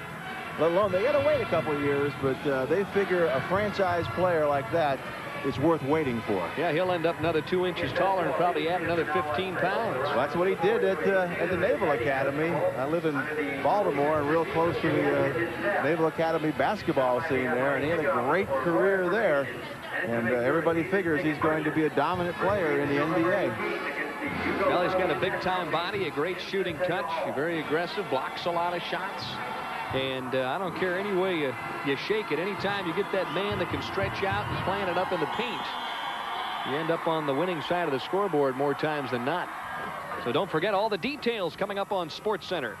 David Robinson signs a big-time contract. Jim Harkema and his bunch right now, oh, they have to be feeling awfully good. Sullivan with a quick pitch. Johnson gets whacked at about the 48, but uh, those hits don't seem to, to feel quite the same when you're ahead, do they, Stan? No, they sure don't. Uh, it's funny. You look out here. Toledo had their punt return team in expecting a punt, and uh, they had to bring their defense back on now. So that was that's why that hole was so wide. But uh, it's just amazing to uh, see a team dominate like this when just a few years ago they were so bad that everybody across the country was poking fun at them the way that uh, Columbia is looked at right now. You know, this is an offensive coordinator's favorite formation or head coaches right now you just uh, flop on the ball and the man back there deep in case anything bad to happen. But, you know, that's the last snap we'll have. But Jim Harkema and that whole Eastern Mich Michigan uh, contingent uh, you know, they really have to be congratulated. This is a great comeback from not only losing 27 in a row, but almost losing their whole program just three years ago. Well, he tried his best to stay loose yesterday, he said today he would do anything possible, take a long walk and just take some deep breaths because he knew it would be a tough one. And there you see Dan Simrell, and he'd be the first to congratulate Jim Harkema on his success because Dan Simrell is, well, he's cherished championships in the Mid-American Football Conference, and right now, that man, Jim Harkema, feeling pretty good about life in the fast lane. Thank you. Hey, we got another game yet. Jim Harkema all smiles right now because the final score is 38-9, and who would have ever thought that the Hurons would be 4-1? We'll be right back. Well, before the season started, it was supposed to be Toledo on top of the MAC standings, but now as you look down, all dressed out in white, it's the co-champs at this point, Eastern Michigan at 6 and one. And it is, and uh, one thing I guess uh, they get to celebrate tonight and for a few days, but they got to remember it's not complete yet. They still have one more game, and I'm sure our guest coming up, Jim Harkema, knows that as well as anybody. That's right, Jim. This is Denny. Uh, I have to ask you the first question right off the top. There's no way in the world you figure you're going to come in here and win 38 to 9. Well, I, I, quite simply, we knew we had to throw the football, and they were lining their linebackers up and coming up real tight, and that opened up those lanes. And after Ronnie got settled down, he really threw the football. I really felt our offense could explode at some point in time, and we finally did tonight. Yeah, the uh, wishbone unbalance that we talked about yesterday, Jim, it came in there, and it must have worked just as you diagrammed it because Ron Adams almost walked down the field by himself. Well, they were they were unprepared for it, and, and, and the kids really worked hard at it. We've had it in for two weeks, and they really did a heck of a job. And, and Ronnie's coming around on the outside now, and there's a great block. The fullback's all the way down the field, and Ronnie, uh, you know, he won't be denied when that happens. But uh, we got the load block. Gary Patton threw the key block, by the way. That's kind of a nice situation, isn't it, when, you're, when the leading tailback uh, makes the block. Jim, you know, we talked about your fifth-year seniors and what a pivotal role they've played all along in, in, your drive towards an MAC championship. And tonight, those guys really, really came through. Well, I thought they really played well, and our skill guys played, and you know, everybody played good. It was a hard football game in the first half. I mean, I, I, don't know what anybody else thinks, but it was a hard football game. Once we got the lucky catch down at the end, I shouldn't say lucky for Ziegler, but it was fortunate. Then I thought we had control of the football game. What's your feeling right now going through? You've come so far. You, you were at the point one time where you really were questionable whether you're going to have a program. Now you come all the way and you're just within the, you know, within I, one game of winning the whole thing. Well, I'm not going to allow myself any of that. Just like I told you last night, we don't have time to think about program. We've got another game to play, and we, we've come too far not to play good next Saturday. And, and, and you know, I, I know that sounds trite, but I, I think we've got to keep our focus. If we don't, we'll end up sad. So you let them uh, you let them celebrate for a couple days here, won't you? Well, yeah, they but they're going to lift weights tomorrow and swim tomorrow, and and uh, then I'll give them a couple days off. But they gotta they gotta keep doing the things they've done to get to this point. So you're tougher than Woody Hayes was. He'd have given us at least a day to celebrate. I'm, I'm not tough at all. I tell you that. Coach, congratulations on a marvelous victory, and we'll be back with more as the Eastern Michigan Hurons hoop it up here in the Glass Bowl.